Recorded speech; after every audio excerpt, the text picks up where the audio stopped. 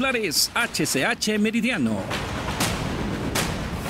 Cementerios clandestinos. En la capital, a la orilla del río San José, carretera que de Tegucigalpa conduce al sur del país, Policía Nacional continúa resguardo de cementerio clandestino. Malos perdedores. En San Pedro Sula, destruida dejan posta policial tras encuentro futbolístico en el Estadio Morazán. Furiosos aficionados del Real España no soportaron vapuleada de los Lobos. 5 a 2. Millonarias pérdidas. Pérdida diaria de 25 millones de lempiras en agonizante NE, con una deuda total de 70 mil millones de lempiras. ¿Quién recuperará la estatal? A vacunar. Del 6 al 24 de mayo del presente año, la Secretaría de Salud realiza la Jornada Nacional de Vacunación y Desparasitación. A extraditar. Arnaldo Urbina, exalcalde de Lloro, se encuentra en audiencia en tribunales sanpedranos, donde se conocerá si será extraditado o no a Estados Unidos de América reconocen a Cortizo. El gobierno de Honduras reconoció el triunfo de Laurentino Cortizo como presidente de la hermana República de Panamá 2019-2024. Las noticias más importantes de Honduras y el mundo solamente en noticieros HCH.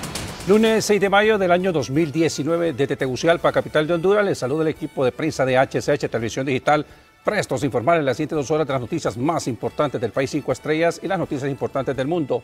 Agradecidos con Dios nuestro Señor por este nuevo día de vida y usted, fiel televidente, fiel escucha, por su total sintonía. Le recuerdo, esta señal es retransmitida por la poderosa HCH Radio. Inmediatamente saludo a mis colegas, a la bella Carolina Lanza y Alejandra Rubio. Damas, buen día.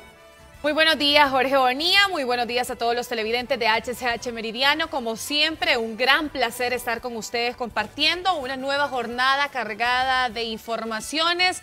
Gracias a todos los que nos sintonizan a través de las diferentes frecuencias de radio a nivel nacional. Ya todo el equipo de prensa, coordinación, camarógrafos, editores, periodistas, nuestros compañeros en máster y en coordinación de este espacio, pues la licenciada Mariela Artiaga en este momento. Estamos listos para informarle de todo lo que se suscite en el trayecto de estas dos horas en el ámbito nacional e internacional. Gracias a todos aquellos seguidores a través de las diferentes redes sociales de HCH, en Facebook, en Twitter, en Instagram y también a todos los que se conectan a través del Facebook Live. Recuerde que este es un espacio en el cual su opinión para nosotros es importante y en el cual también usted puede interactuar con nosotros de los diferentes temas que toquemos en este espacio de noticias. Para dar lectura a sus opiniones, se encuentra con nosotros Alejandra Rubio. Alejandra, feliz lunes. Feliz lunes, licenciada Carolina Lanza, a todo el staff del Noticiero Meridiano. Gracias por conectarse con cada uno de nosotros, a todas las personas que día a día ingresan a nuestra página www.hch.tv muchos compatriotas que se encuentran en el exterior del país. Gracias por conectarse con nosotros. Gracias por tenernos como su mejor opción informativa. Pero a continuación le damos la bienvenida también a todas las personas que nos miran a través de nuestro Facebook Live, que hay muchos conectados como Romero Alan, que nos dice saludos para todos ustedes. Nel Mantoro, que también nos dice bendiciones a todos los de HCH. Elvin R. Hernández, saludos y activos con todos los de HCH. Bendiciones para todos ustedes. Y Héctor días. Hola, los estoy viendo y no nos reportan desde dónde. Así que usted que está conectado a través del Facebook Live, escríbanos desde dónde tiene fiel sintonía. Por aquí Cristian David nos comenta. Saludos a todos los de HCH. Buen programa. Alejandro, a tu pelo se te ve bello, dice María del Milagro. Muchísimas gracias. Muy bella se mira Carolina hoy, dice Magda Cruz. Muy buenos días, Carolina Alejandra. Nicole Ponce se reporta con nosotros. Carolina, vendida, dice por aquí Jennifer Ochoa. Le damos lectura a sus mensajes. Maricruz, saludos a todos ustedes. Saludos desde Houston, Texas, para ustedes y para mi hijo Arnold Alcerro. Le manda saludos María García a través de HCH. Hermosa Alejandra, dice Lucero Sánchez. Saludo a todo el staff desde Florida. Ahora lo veo desde Miami que ando hoy de vacaciones. Nos mira Mesa Marvin a través del Facebook Live. Guapísima Alejandra, saludos. Tucaya, Alejandra Vallecillo se conecta con nosotros. Linda Alejandra, como siempre. Saludos, Ale. Saludos, mis amigos de HCH desde New York City se están reportando con nosotros. Bendiciones a todo el staff de HCH. Un saludo para HCH desde España y también buenos días. Me encanta el navegador. Maricruz se conecta con nosotros. Hermosa chicas, Jorge Bonía, excelente periodista. El canal de Juan Orlando dice, Bueno, Mejía Mardo Elías ya nos envía su mensaje de texto y ahí lo dejamos en pantalla para que ustedes lo puedan leer. Carolina, solo a favor del gobierno, el dictador, dice Jennifer Ochoa, que ya este es el segundo mensaje. Y también por acá, hermosa las niñas de noticias, saludos desde San Luis Santa Bárbara, San Pedro Sula, saludos a todos ustedes. Desde Haití se conecta la gente y Johnny Amparo Funes nos mira a través del Facebook Live y por supuesto nos miran desde Luis va, eh, desde Kentucky y ella es Alicia Ortega. Los miro, dice saludos a todos ustedes, saludos a mi hija que hoy está de cumpleaños. Felicitamos a la preciosa Melissa Oliver. También Alejandra y el programa del Chele Truco. ¿Qué ha pasado? También preguntan por el Chelito Truco. Johan Ortiz a través de las redes sociales y también tenemos más opiniones y tenemos a Francis Nieto. Buenas tardes a todos ustedes, bendiciones. Saludos a todos los que laboran en HCH. Y por supuesto, también David Palma nos comenta fuera Juan Orlando. Vea usted que aquí estamos en el canal del Balance de la Noticia, así que no pierda la oportunidad de enviar sus mensajes de texto. Más adelante estaremos leyéndole cada uno de sus opiniones, pero la información no se detiene y de esta manera nosotros damos inicio. Así es, inmediatamente comenzamos con un resumen de noticias transmitido a la hora y esto le encabeza precisamente las investigaciones que realiza la DPI, la Policía Nacional, en unas supuestas tumbas clandestinas en la capital, a la orilla del río San José, en la carretera que de Tegucigalpa conduce al sur del país. La Policía Nacional, la DPI también desde el viernes anterior hacen resguardo de lo que se supone una tumba clandestina en el sector de Mimbre, muy cerca de la colonia Loarque. Varios metros adentro en la maleza sigue un cerco de alambre de púas. La policía sospecha que en este sitio hay cuerpos enterrados y coordinan con las autoridades de medicina forense la exhumación de los cuerpos. Además, también le damos a conocer que en San Pedro Sula, destruida, han dejado una posta policial y esto tras el encuentro futbolístico en el Estadio Morazán. Furiosos por el resultado negativo del Real España, cuando los Lobos pues les pusieron ahí 5 a 2, imagínense, 5 a 2 y los dejaron fuera de las semifinales. Ante este marcador adverso, al término del partido, los aficionados de El España, la Megabarra, destruyeron los ventanales de esta posta policial de turismo ubicada frente al estadio Morazán. Imagínese usted, así han dejado la posta en el sector de San Pedro Sula luego de este encuentro futbolístico entre Real España y los Lobos. Pérdida diaria de 25 millones de lempiras en agonizante NE, con una deuda total de 70 mil millones de lempiras, tarea difícil de recuperar por las malas administraciones con contratos leoninos, con térmicas y poca gestión de proyectos visionarios. Asimismo, el contrato de recuperación de pérdidas encargada a la fatal Energía Honduras. Y el Instituto Nacional de Formación Profesional en la capital de la República y también en San Pedro Sula, hoy los alumnos y los mismos padres de familia estaban muy molestos y estos llegaron con uniforme y los instructores también, pues ya se había anunciado que hoy, que es 6 de mayo, se iniciaba una prematrícula. Desde el 28 de abril se informó sobre estas decisiones en esta reunión tan importante que se dio a cabo que hoy, 6 de mayo, iniciaba la prematrícula.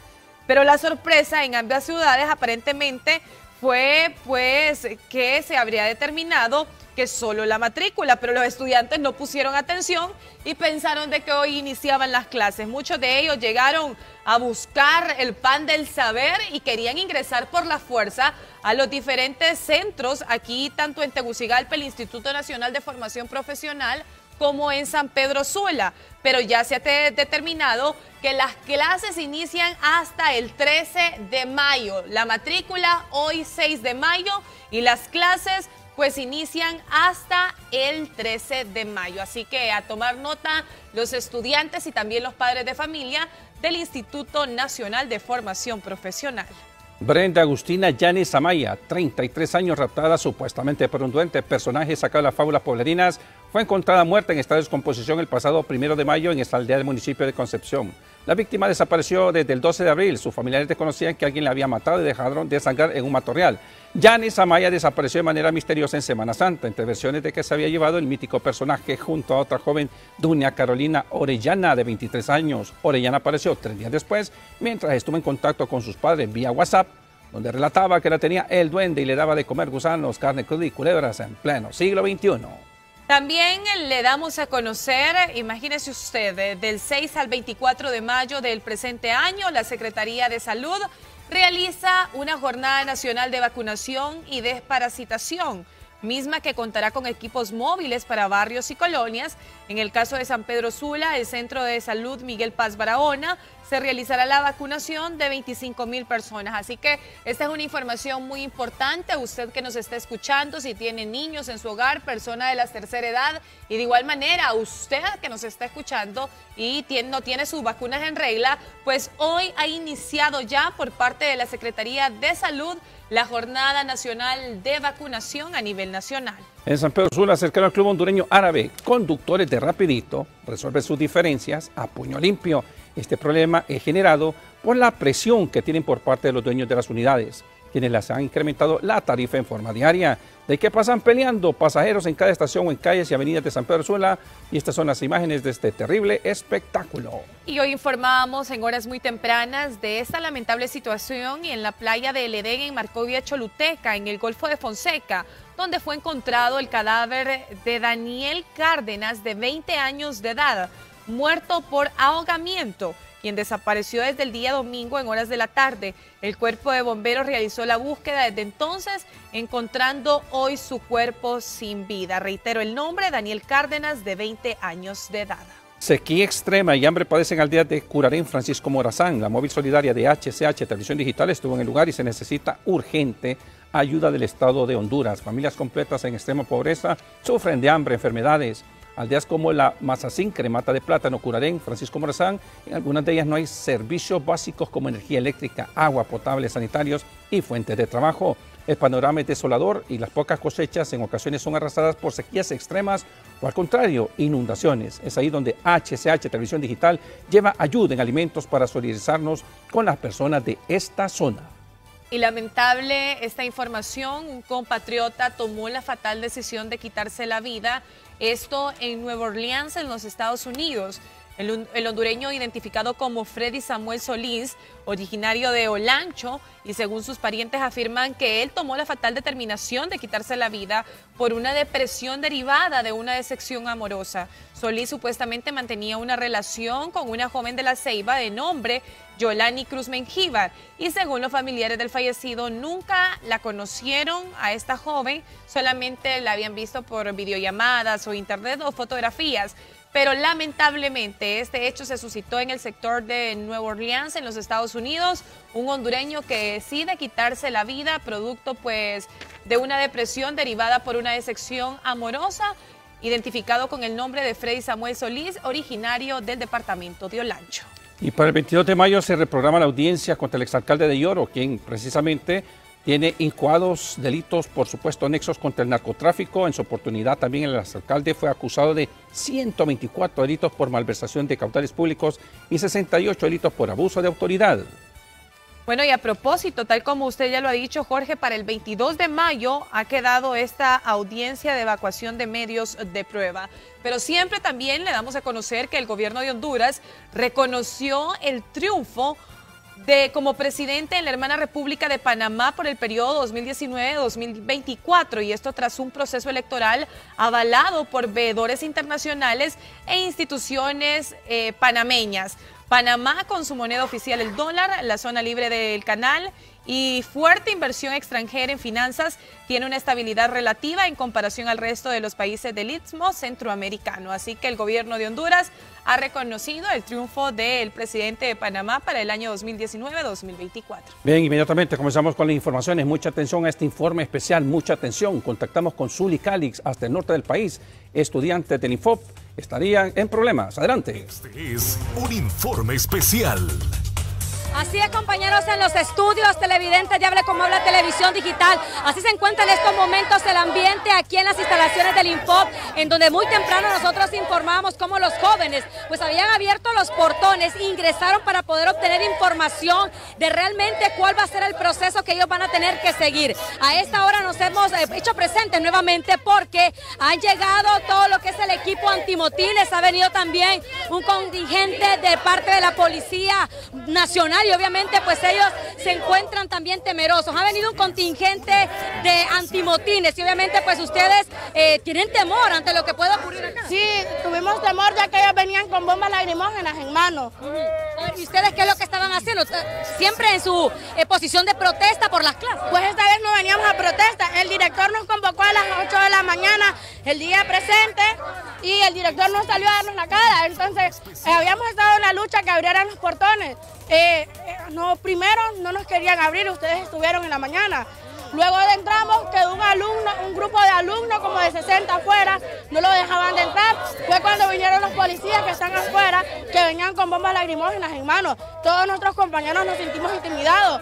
Luego el director, él nos citó el día de hoy. Hey, creo que todos miramos la noticia que él salió en vivo, un Ajá. Entonces, ahora que estamos presentes, que vinieron padres de familia, los alumnos y todo, él nos salió a dar la cara. Creo que tiene que tener un poquito de palabra, ya que él nos citó y salir aquí a que, viniera a hablar. para que nos citó. No, pero al final él no ha salido. ¿Qué es lo que van a hacer ustedes? Lo que han hecho es que le dieron ese papelito de volverse a matricular sin importar que algunos ya estaban matriculados. ¿Pero qué van a hacer ustedes acá? Pues vamos a esperar hasta que él salga. Ya vinieron los derechos humanos. Vamos a levantar una denuncia y no entiendo por qué quieren que hagan una prematrícula si ya estamos matriculados. Es algo muy, muy ilógico. Todos los que estamos aquí somos eh, matriculados, que ya nos vamos a graduar. Le pedimos al señor director que salga, que tenga palabra. Él nos convocó, aquí estamos todos los alumnos. ¿Y quieren hacerlo de manera pacífica? Todo, todo es de manera pacífica, nadie le ha faltado respeto a nadie. Fueron los policías que vinieron con bombas lacrimógenas en mano y con tulete. Así es, bueno, muchas gracias. Esto es lo que está ocurriendo cuando también los padres de familia pues están aquí acompañando a todos los estudiantes. Ustedes como padres pues van a permanecer aquí también acompañándolos a ellos. Vamos a permanecer aquí porque estamos peleando el derecho de nuestros hijos. Bueno, también han venido la policía y ustedes han estado acompañándolos de manera tranquila aquí. Pues claro, yo creo que ahorita es hora que no los miren ya a los padres de familia cara de brutos que nosotros entendemos que tenemos aquí a nuestros hijos estudiando porque queremos el futuro de ellos, pero que no los miren como, como tontos. Así es, bueno, muchas gracias. Esto es lo que está ocurriendo aquí en el Infod, en donde los jóvenes pues se niegan a salir de la institución porque lo que quieren es realmente una reunión con el director. Así que nos mantenemos siempre al pendiente. Mientras tanto, los antimotines se encuentran en las afueras y otro grupo aquí de manera interna. Con mi compañero Eduardo El Toro Mengíbar, regresamos nuevamente hasta los estudios. Bien, muchas gracias a la periodista Zuli Calix, pero aquí Jorge, no sé por qué se armó este despelote, dicen los mismos alumnos que les habían convocado, pero quizás les convocaron para el proceso de prematrícula que iniciaba hoy. El Consejo Directivo del Instituto Nacional de Formación Profesional desde el 28 de abril informó y aprobó que iniciarían clases hasta el próximo 13 de mayo para este grupo de una gran cantidad de estudiantes de, de, Tegucigalpa y además de San Pedro Sula. También en esa misma reunión las autoridades del instituto anunciaron para satisfacer la demanda del sector empresarial y los planes de desarrollo del país que reformarían la educación técnica del país para contar con mano de obra capacitada que cumpla con estos estándares internacionales. Pero es que acá en muchas ocasiones no se pone atención. Pero con respecto a lo que usted dice, difiero en algo. Eso no indica de que usted tiene que lanzarle gases lacrimógenos a muchachos que portan un uniforme, solo, que estuvieran destruyendo, solo que estuvieran destruyendo la propiedad privada. a mí me gustaría ver esa misma acción cuando se, la policía se enfrente contra delincuentes. En muchos, eh, hay barrios y colonias de la ciudad capital que no ingresa una policía. Bueno, y el punto es este, se habla de despidos masivos en Infop, se habla de que el resto de países, Guatemala, Costa Rica, Panamá, Nicaragua tienen centros de formación profesional en donde no se despide a gente que ha sido capacitada por el Estado. Tal vez son años y años de estar invirtiendo en esa gente. Se espera que esta gente no la despidan. A los paracaidistas está bien que despidan. Pero el punto es cuánto tiempo se ha perdido en clases. usted tiene razón, dijeron una fecha, dijeron una fecha y tiene usted razón. eso no se justifica, Jorge, que le estén lanzando gas lacrimógeno a los jóvenes no es justificable. Pero ahora, ¿cuál es el problema? O sea, ¿por qué es que los jóvenes están ahí? Quieren clases. Porque todos ellos pensaban que las clases iniciaban. No, hoy lo que inicia es una prematrícula. Si aquí se hubiesen programado, Jorge, y desde el momento que se tomaron estas decisiones, luego de tanto tiempo que estuvieron perdiendo clases, estos alumnos hubiesen iniciado hoy las clases si se hubiesen programado con anticipación. No se necesita ser experto en un tema para ponerse al día con las clases. Incluso va a ser hasta insuficiente el año escolar para ellos. Me imagino que van a tener que recibir clases hasta en diciembre. Correcto, Carolina, pero el punto es que se busque la medida justa y que se inicie eh, clases así como lo prometieron en la institución. Eso tampoco avala de que se vaya a destruir bienes en el Info porque es, eh, es del pueblo. El punto es de que se reinicien clases, que los estudiantes tengan un poco de calma, pero también que, ¿qué le cuesta al señor director de San Pedro Sula decirle, jóvenes, mire, eh, el proceso de prematrícula es ahorita y luego ustedes van a tener las facilidades correspondientes. Pero hay funcionarios que se encierran en su, en su oficina con aire acondicionado y el resto de la población no importa. Pero es que dicen que salió, las autoridades ya les han dicho que hasta el 13 de mayo inician las clases. Lo que pasa es que ellos querían entrar por la fuerza a las regionales, tanto del Instituto Nacional de Formación Profesional aquí en Tegucigalpa como en San Pedro Sula, pero de igual manera, los que brindan las clases, los técnicos, no es, tampoco es que están ahí. Porque ellos no están en el proceso de prematrícula, solo se necesita personal de administración. Correcto, pero o sea, nada iban a entrar. Dejémonos de tanto bla, bla, bla en el Estado y comencemos ya a instruir a estos jóvenes. Mire, el resto de países centroamericanos, le reitero, están apostando a la educación con calidad, a formar. Y los procesos de formación técnico en cualquier país del mundo se necesita inversión. Ya vamos a estar con nuestro compañero Nelson Sorto aquí en la capital de la República para ver qué es lo que está sucediendo. Pero rápidamente, mucha atención a este informe especial a esta hora del mediodía. Importantes detenciones en la zona norte del país. Ernesto Alonso Rojas presente ya desde el lugar de los hechos. Neto, muy buenos días, te escuchamos.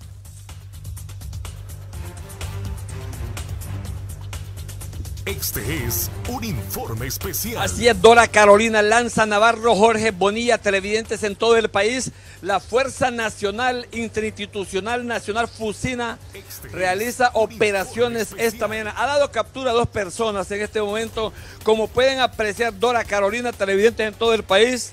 Ah, mire, dos personas aquí se les ha encontrado, mire, supuestamente distribuidores de droga, distribuidores de marihuana aquí y un arma también estas dos personas, en este momento una, un hombre y una dama. Estoy aquí con la portavoz de este cuerpo policial a nivel nacional en el norte del país, Capitán Enivega, la detención de estas dos personas, una mujer y un caballero a donde son detenidos, supuestamente pertenecen a alguna mara o pandilla y qué hacer es decomisa a ellos. Buenos días. Así es, muy buenos días. Este día en dos situaciones diferentes, miembros de la Policía Militar del Orden Público del Sexto Batallón han realizado la detención del ciudadano Junior Leiva Leiva, a quien se le decomisó un arma de fuego tipo calibre eh, pistola 380, eh, a quien se le decomisó un cargador y 17 proyectiles sin percutar. Este ciudadano fue detenido en la colonia 14 de julio, el sector Techamelecón, en la ciudad de San Pedro Sur y ha remitido por el delito de posesión ilegal de arma de fuego. En otra parte, por otra parte, en horas de la madrugada,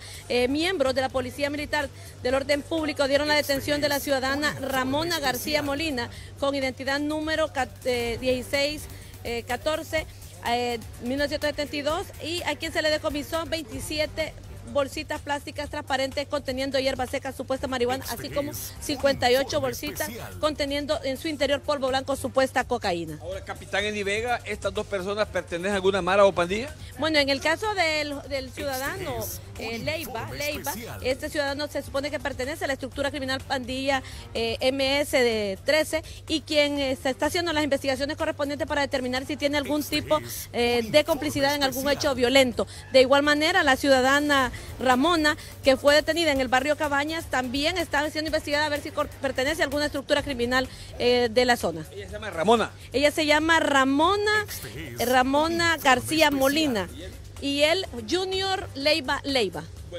¿Dónde fueron detenidos? Él fue detenido en la, en la colonia 14 de julio, el sector de Chamelecón, y ella en el barrio Cabañas, en la 10 calle 15 avenida de San Pedro Sula. Bueno, muchas gracias, capitana, capitán, capitán Eni Vega, portavoz de la policía en el norte del país, como lo ha expresado ella, eh, Dora Carolina Lanza Navarro, Jorge Antonio Bonilla, Bonilla, televidente en todo el país. Mire, en el periodismo activo, mire, se dedicaban a vender, mire, puchitos de marihuana.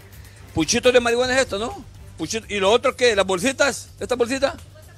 Supuesta cocaína. ¿Esto es supuesta coca también? Todo, mire, bien empaquetadito, bien bonito, ¿ah? bien bonitillo lo vende, ¿verdad? En bolsita ya solamente para... Esta es la pistola, ¿verdad? La 9 milímetros. Bueno, una pistola automática. Y arma ahí. Eh, vivo David, vivo David. Estamos primero que usted, David. Aquí. aquí estamos, David. Bueno, Dora Carolina Lanza Navarro, Jorge Alberto Bonía, periodismo activo desde la 105 Brigada Fusina.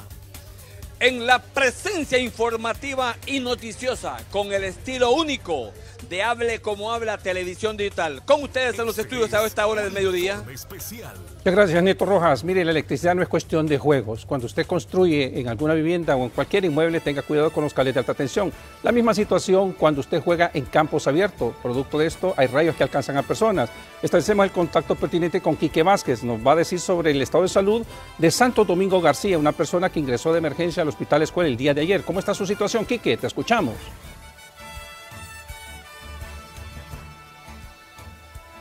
Gracias compañeros en estudios, un gusto saludarles. Efectivamente ayer domingo se registró algo terrible en Intibucay y es que cuando 15 personas esperaban regresar a sus hogares luego de un partido de fútbol les cayó una descarga eléctrica y que los dejó con lesiones a todos, pero uno de ellos quedó más lesionado y fue trasladado de inmediato al hospital escuela. Ya me encuentro aquí en la emergencia de este centro hospitalario y me acompaña Juliet Chavarría, quien es la portavoz. Julie, ¿cuál es el estado de salud de esta persona que fue ingresada a este centro asistencial?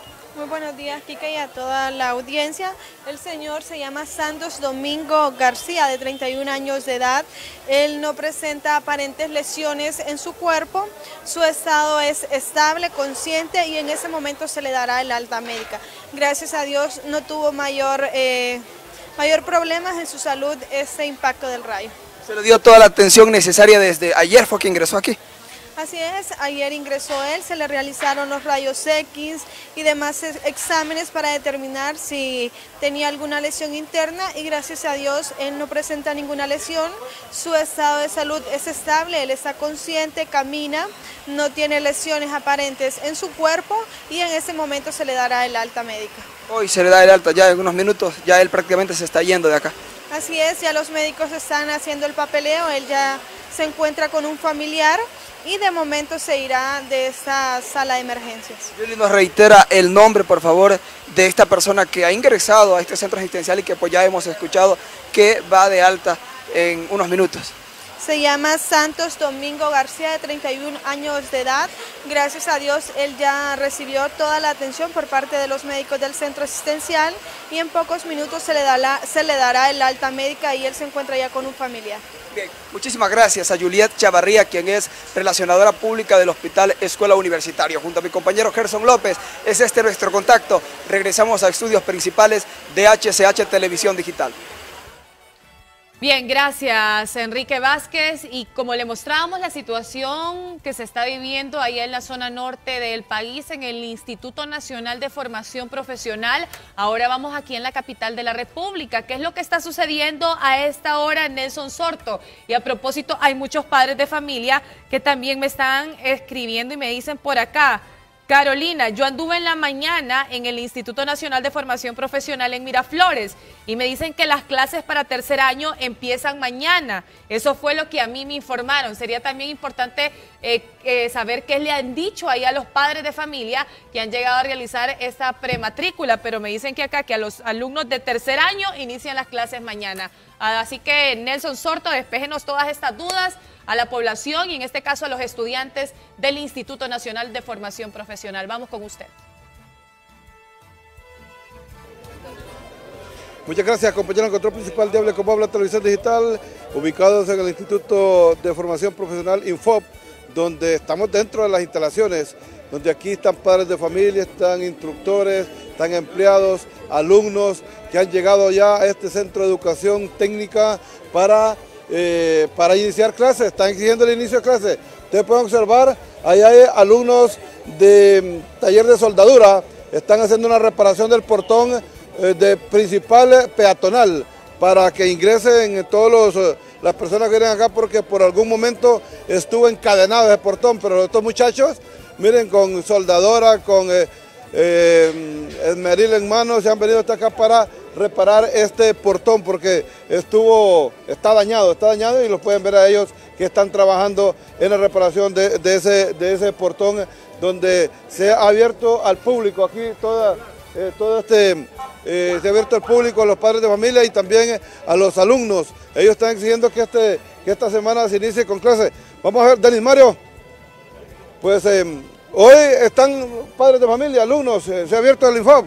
Eh, aparentemente se inicia hoy clase o al menos eh, el proceso de matrícula. Bueno, efectiva, efectivamente las clases por mandato del pueblo, por, a través de los padres de familia y participantes del INFOB, las clases han arrancado hoy. El INFOB es una institución del pueblo, obviamente eh, le pertenece al pueblo, no es don Roberto Cardona López, con el respeto que él se merece, el dueño del INFOB.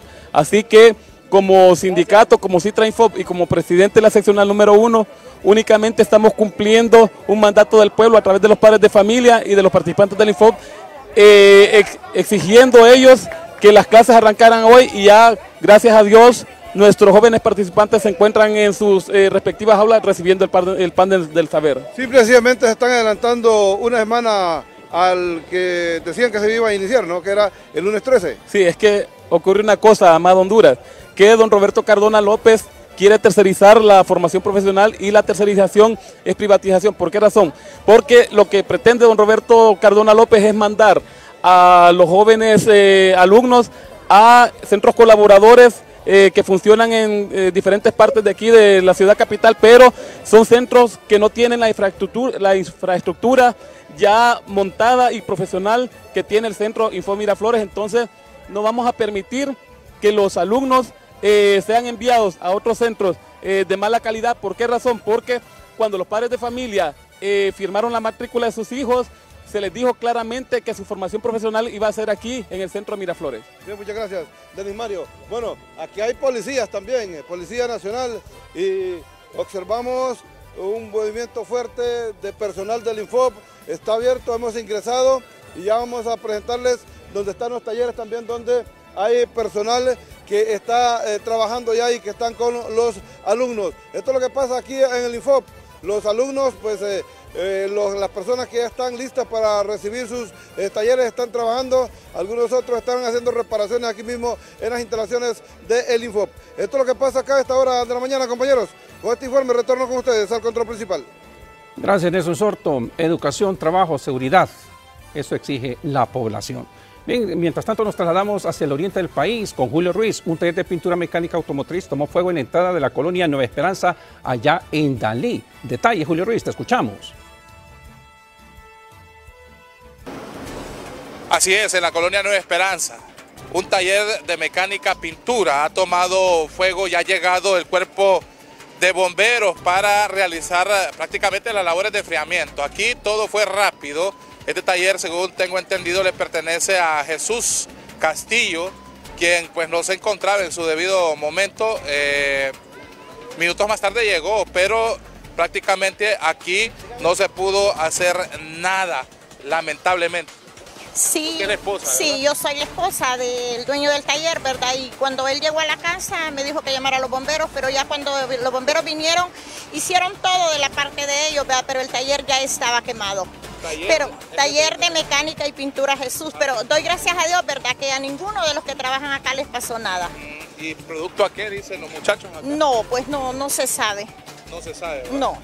Eh, se perdió un vehículo, vemos Sí, se quemó un vehículo. vehículo estaba en reparación? Sí, estaba en reparación y todo lo material, herramientas, ¿verdad? Compresor, soldadora, todo lo todo que... se ha perdido. Todos, todo, lo material Estamos que... Estamos hablando que las pérdidas aquí son miles de lempiras. Exactamente, Julio. Miles de lempiras. Vea usted, en estos precisos momentos, lamentablemente, bueno, los bienes materiales se recuperan, pero eh, ya las labores de enfriamiento están terminando por parte del cuerpo de bomberos. Así ha quedado este taller, este taller de pintura acá en la entrada de la colonia Nueva Esperanza. Prácticamente lo que se maneja es que pudo haber sido un cortocircuito, un cortocircuito lo que provocó el incendio acá, en este taller, de quien es propietario, tenemos entendido Jesús Castillo. Con este informe nosotros volvemos al estudio principal.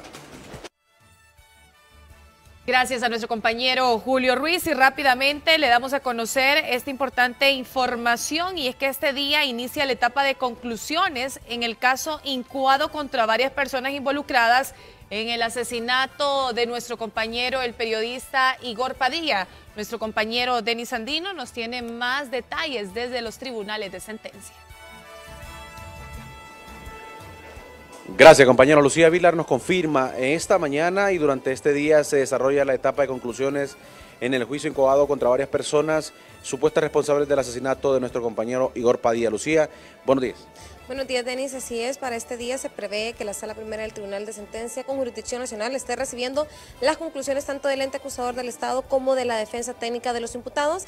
Como usted bien lo mencionaba, en el caso del asesinato del periodista Igor Padilla Chávez, esto según hechos ocurridos el 17 de enero del año 2017. Según el ente acusador del Estado, los que mataron a Igor Padilla serían Aarón René Benítez, José Ramón Hernández y Aarón Alejandro Aguilar. Son las personas a las cuales se les supone responsables del delito de asesinato. Asimismo, este proceso se suman 10 personas más, a los cuales se les supone responsables del delito de asociación ilícita. Luego de esta jornada de conclusión, de presentación de conclusiones ante el Tribunal de Sentencia, pues estaría dando la fecha en la que se estaría ya dando el fallo correspondiente, un fallo condenatorio o absolutorio para estas personas. Entiendo que hay otras personas involucradas también, que eh, ellos están en esta etapa también. Así es, en este proceso se sigue para 13 personas, a tres de ellos se les supone responsables del delito de asesinato y a las otras 10 personas se les supone responsables del delito delito de asociación ilícita. A las personas que supuestamente el Ministerio Público supone responsables del delito de asesinato en perjuicio de Igor Padilla serían Aarón René Benítez, José Ramón Hernández y Aarón Alejandro Aguilar. Muy bien. Lucía Vilar, quien es la portavoz de los tribunales de sentencia, en desarrollo entonces esta etapa de conclusiones en el caso de nuestro compañero Igor Padilla. Compañeros, desde los tribunales de sentencia, nuestro informe junto a Luis Zelaya, retorno con ustedes a los estudios. Muchas gracias.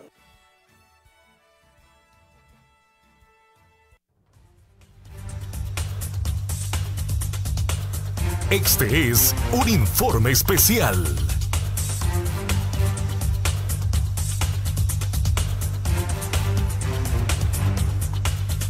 Mucha atención a este informe especial, mucha atención. Contactamos con el periodista Alex Cáceres. Autoridades entregan expedientes al Ministerio Público de Empresas que supuestamente están haciendo billetío, evadiendo el fisco. Alex Cáceres, adelante. Informe especial.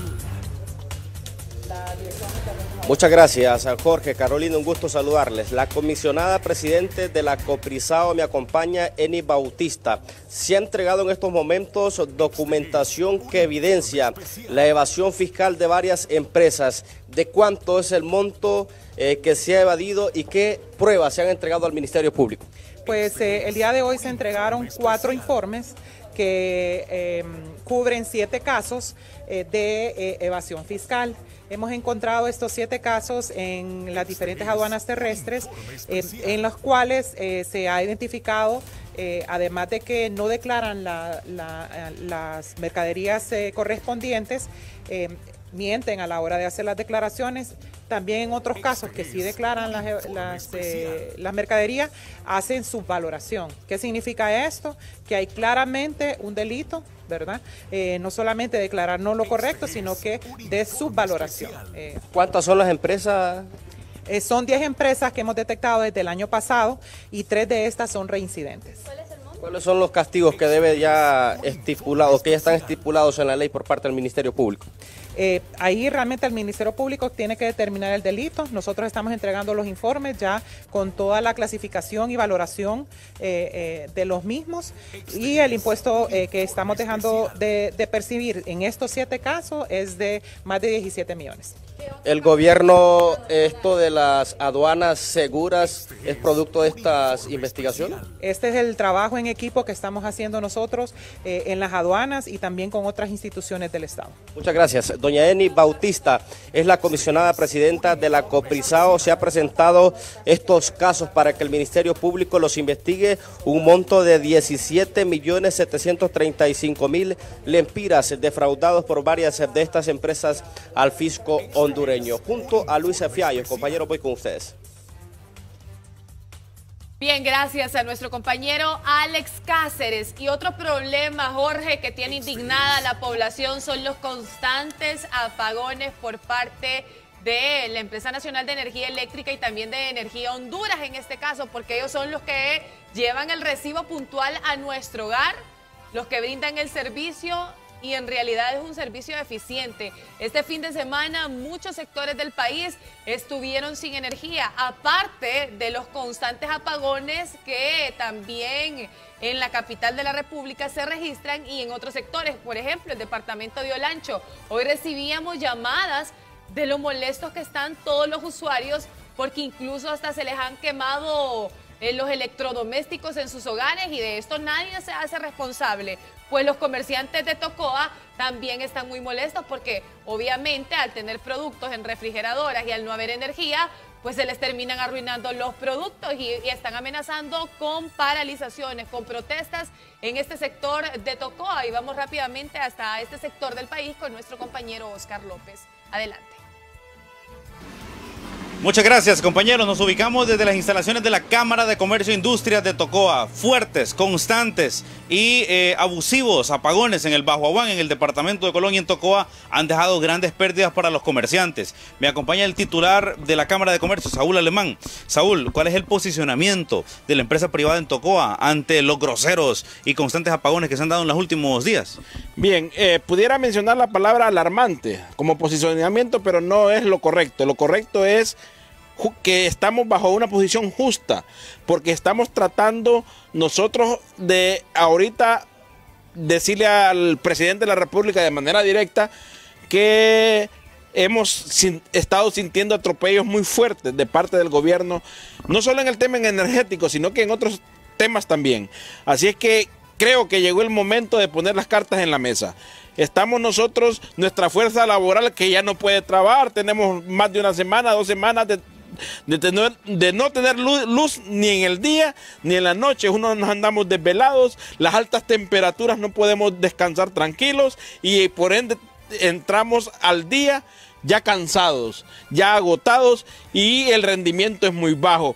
Como para también tomar en cuenta el comercio, el comercio está con altos costos porque tiene que mantener plantas para generar, generar su energía de manera muy prolongada el consumo de combustible. A los productos. A otros se les dañan los productos. O sea, Colón, la región atlántica, el Valle Arriba, toda una región del litoral atlántica casi colapsada por culpa de la irresponsabilidad del gobierno de la República.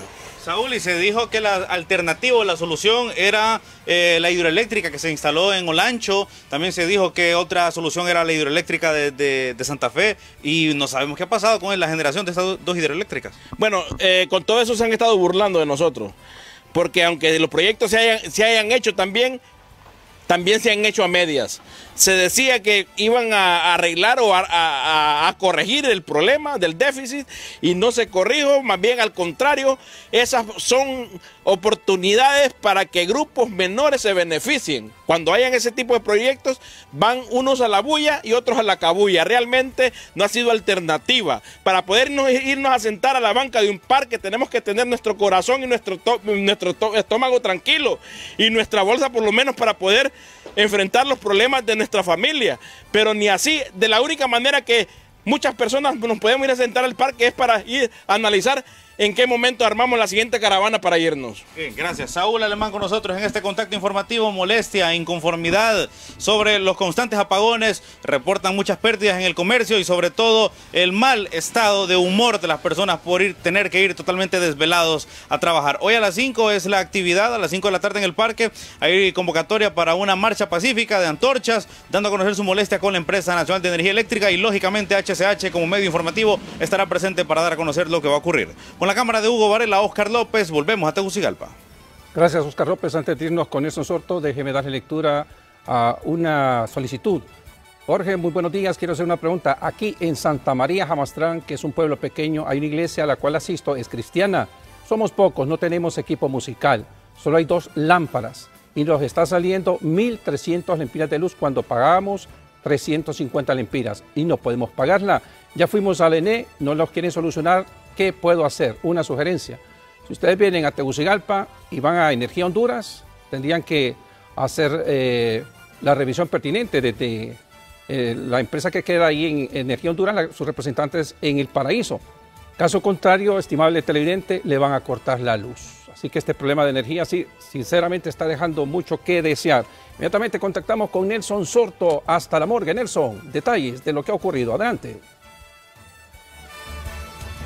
Muchas gracias Jorge, muchas gracias amigos televidentes de Hable como Habla Televisión Digital a esta hora del mediodía. Un resumen de hechos policiales aquí en la morgue del Ministerio Público en Medicina Forense.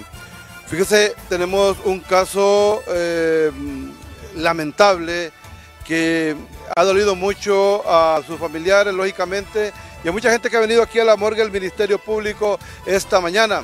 Es el corredor entre Tegucigalpa y la salida a Cerro Grande. Ese eh, corredor ha cobrado en las últimas horas la vida de tres personas. Y lo más triste es que ahí murieron madre e hijo. Mire, ayer a eso de las 7 de la noche, eh, Jorge, compañeros, eh, la señora María de Los Ángeles Carranza Palacios, bueno, señora porque ella ya iba a dar a luz, estaba en su octavo mes de embarazo, de tan solo 17 años de edad. Ella venía de la iglesia, de la iglesia del culto, eh, se bajó de un bus porque ella vive o vivía en aldea Río Abajo y se bajó ahí en el sector de Villa Madrid para tomar el desvío para su casa Río Abajo sin percatarse que en vía contraria venía otro carro y, lo, y la atropelló. Ella quedó inconsciente ahí en ese sector Paramédicos de inmediato la asistieron, la trajeron al hospital escuela, le hicieron una cesárea de emergencia. Una vez que le hacen la cesárea, eso de las 10 y minutos, casi las 11 de la noche, muere la señora María de los Ángeles Carranza Palacios.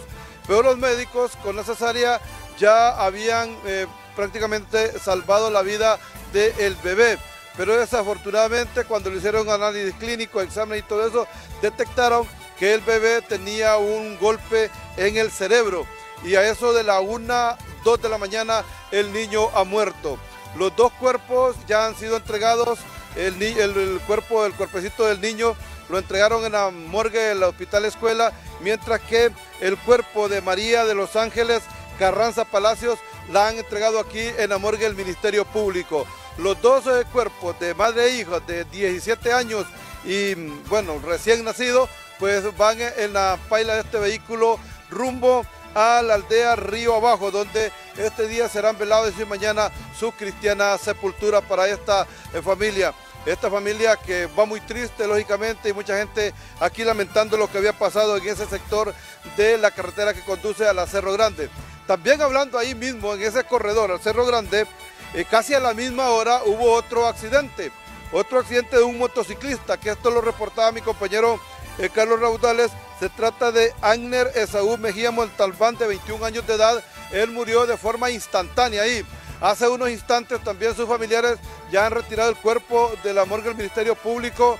En este momento está siendo preparado en una de las funerarias de la capital. Iba a ser trasladado hasta la aldea Joya Grande en Morosalí, el paraíso donde él era residente. Él estaba casado y, tenía una niña de cuatro años y vivía allí en el sector de Joya Grande. Eh, ya han retirado su cuerpo. Esta persona iba en su motocicleta, tomó su motocicleta solo para irse a estrellar, e impactar un poste tendido eléctrico y ha perdido la vida de forma instantánea. Repetimos los, eh, dos cuerpos que han salido aquí de la morgue del Ministerio Público. María de los Ángeles Carranza Palacios, 17 años de edad, y también eh, en accidente de tránsito, Agner Esaú Mejía Montalbán, de 21 años de edad que ha salido hace unos instantes de la morgue del Ministerio Público. También eh, me acompañan acá familiares de Juan Ángel García. Eh, esta persona murió de forma violenta en el sector del Tablón, allá en Lepatarique, entre, la entre el municipio de Lepatarique y también el municipio de la Villa de San Antonio, fronterizo allá en Comayagua. Murieron, él murió eh, el pasado miércoles, pero fue hasta el viernes que lo encontraron sin vida junto a otro familiar. El otro familiar no lo trajeron aquí a la morgue del Ministerio Público debido a que ellos son muy pobres y lo entregaron allá y allá lo enterraron, pero el cuerpo de Juan Ángel sí fue traído aquí a la morgue del Ministerio Público. Desde el viernes, viernes, sábado, domingo, lunes, ha permanecido esta familia acá. Gracias a Dios, eh, Quique Vázquez y su equipo que estuvo de turno se le consiguió el ataúd y esta mañana también ya les hemos conseguido el transporte para que ellos puedan trasladarse hasta el tablón. Eh, doña María, eh, su sobrino Juan Ángel García, cuénteme cómo fue la muerte de él. Pues sí, señores periodistas, tengan muy buenos días, ¿verdad? Este, agradeciéndoles mucho al canal de HCH por ser tan bueno, maravilloso con nosotros, ya que él va a tener nuestra recompensa con el Señor Espíritu Santo, porque él ha sido todo por nosotros. ya que no tenemos personas, este, verdad, pobres, que no teníamos recursos económicos, cómo trasladar este cuerpo allá al lugar de nuestro fallecido Le Paterique y, y también a mí, con mi cuñado no lo pude traer porque por motivos de, de, que no teníamos fondos cómo traerlo, pero yo acompañé a mi hermana que ella es muy pobre, ella es, de poca experiencia, ella es bien humilde, demasiado, entonces aquí estoy yo como responsable de ella, de mi sobrino. La muerte de Juan Ángel? Eh, la muerte de Juan Ángel, pues ellos iban a visita de una suegra, iban a verla allá al, al municipio de Comayagua, un lugar que le dicen La Libertad con la muchacha compañera de hogar que él tenía. Y, mi, suegro, mi cuñado iba a voltear la bestia que llevaban ellos unos, unos, quintalitos de frijoles para llevarle a la suegra. Y resulta que en una quebrada ellos se pusen a lavar y ahí lo, estaban vigiando dos hombres, dice la muchacha, dos hombres, uno con arma y otro con pistola. Dice que lo, logró ver ella porque ella era un milagro, estaba viva la muchacha, porque ella, que el muchacho le iban siguiendo a mi, a mi sobrino, ella dije que le dijo, bajate y metete al monte que te matan porque ya mataron a mi papá. Entonces ella eso fue lo que hizo y ella, logró solo ver que el final lo iban a la descuida corriendo, pues, y él dice que iba a caer las levantadas, pero él no, no, él no, no, no se pudo defender porque no llevaba con qué defenderse, no llevaba ninguna clase. sospechan de alguien? ¿De quién sospechan ustedes? Pues supuestamente nosotros este, no somos Dios para juzgar, pero sí sospechamos de un familiar de él porque solo él lo había sentenciado, solo él este, llamó a la suegra y me dijo que solo él lo había sentenciado, que la muerte de él no estaba largo, porque ya le habían dicho antes que lo iban a matar a él. ustedes que él recién habían vendido un terrenito ahí que le habían dado la mitad del dinero. Sí, vendieron un pedacito de tierra y había recibido la mitad del dinero. Entonces él supuestamente lo quería el pedacito de tierra y el cipote no se lo quiso vender, sino que se lo vendió a otro tío. Entonces, como de por ahí viene la venganza de este, de este señor, entonces él lo que fue a hacer con mi sobrino y mi cuñado. Y entonces yo quiero justicia, ¿verdad? Con la ley, porque no se puede caer esto así, porque eh, son dos personas humanas las que han matado, ¿verdad? Y me duele bastante mi sobrino y mi cuñado, más mi sobrino, porque él era un buen hijo, un buen, para mí era como un hijo, pues era un muchacho de trabajo, un muchacho que él era humilde, él no, no, no, tendría sus locuras de cuando él tomaba sus, bebidas, pero no para tanto. Ahora, finalizo con usted con esto. Eh, usted dice que tienen temor y quieren que eh, si les podían dar seguridad al momento de traer el cuerpo. Sí, correctamente. Mire que aquí tenemos seguridad que los lleve, porque lo puedan traer el cuerpo allá fallecido para de la policía, porque tenemos miedo que estos hombres pueden, andan huyendo, ¿verdad? Y los puede pasar cualquier cosa porque al final dejó otro cipote y este cipote lo tenemos en ocurro de peligro también. muchas gracias. Bueno, lamentamos mucho lo que le ha pasado a esta familia.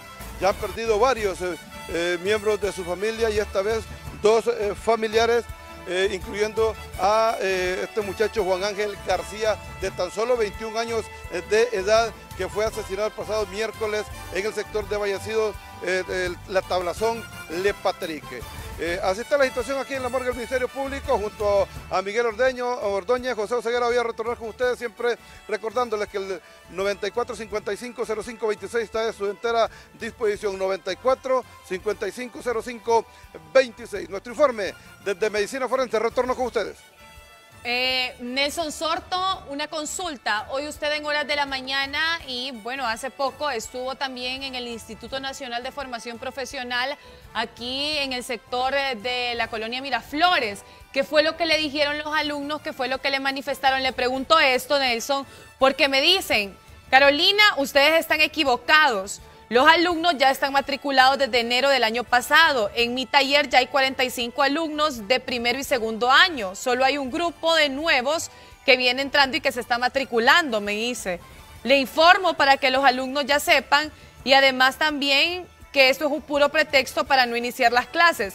Otra madre de familia me dice, Carolina, yo le aseguro que mañana inician las clases y es por eso que queremos salir como de esta confusión. ¿Qué fue lo que le manifestaron las autoridades y qué fue lo que le dijeron los alumnos a usted ahí en el Instituto Nacional de Formación Profesional? Porque oficialmente hoy inicia una prematrícula y según la información oficial también brindada por las autoridades, las clases inician hasta el 13 de mayo. Nelson. Precisamente eso es lo que decíamos nosotros, que las clases inicien lo más antes posible. Si ya el grupo de alumnos están matriculados para este año lectivo, pues solo quedaba el grupo de la matrícula de, los cursos que iban a iniciar o de primer ingreso.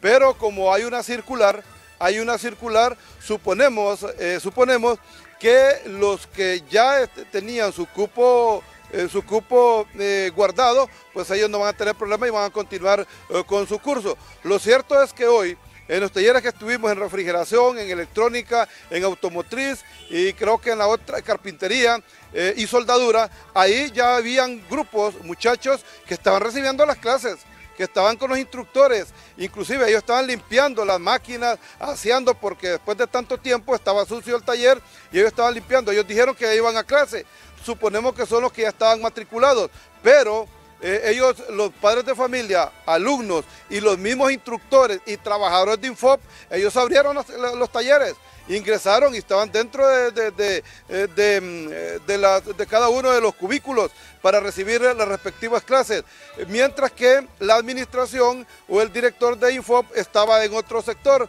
y nunca quiso bajar para dialogar con los padres de familia porque ellos querían que iniciaran hoy las clases de las personas o de los alumnos que ya estaban inscritos, pero el documento, la circular oficial dice que las clases van a iniciar el próximo 13 de mayo y que a partir de hoy pues una matrícula o prematrícula. Eso es lo que vimos y eso es lo que nosotros hemos informado porque dialogamos con algunos padres de familia, dialogamos con algunos alumnos, con algunos instructores y también con empleados de, em, de Infop. Y como usted puede ver, algunos grupos que están trabajando, que están ya en los talleres recibiendo, no llenan las clases porque no han llegado todos, pero sí los que llegaron eh, al menos tenían ya las clases de inducción del primer día de, de clases que corresponde tal como eh, cuando se inicia en cualquier eh, centro educativo del país. Eso que usted ve ahí, lo que le estoy contando, eso es lo que nosotros hemos observado hoy.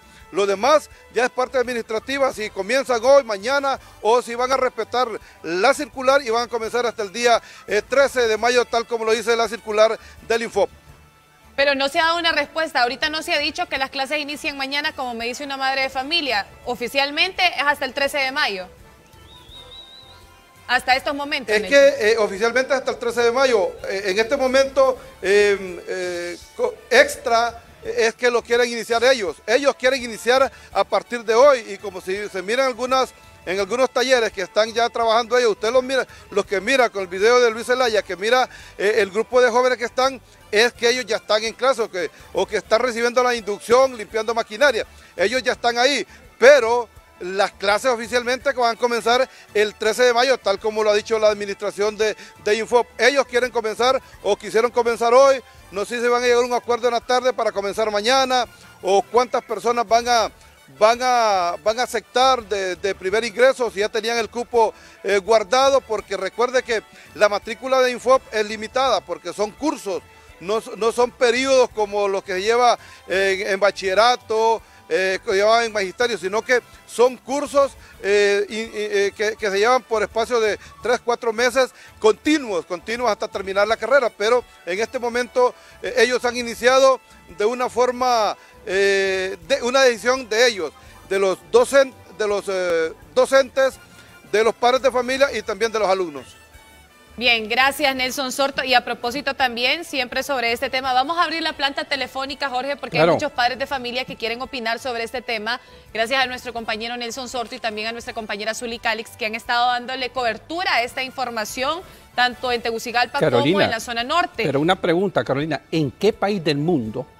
Aquí criticamos de que se pierde clases, que se pierde clases y satanizamos a estudiantes de media, de la universidad.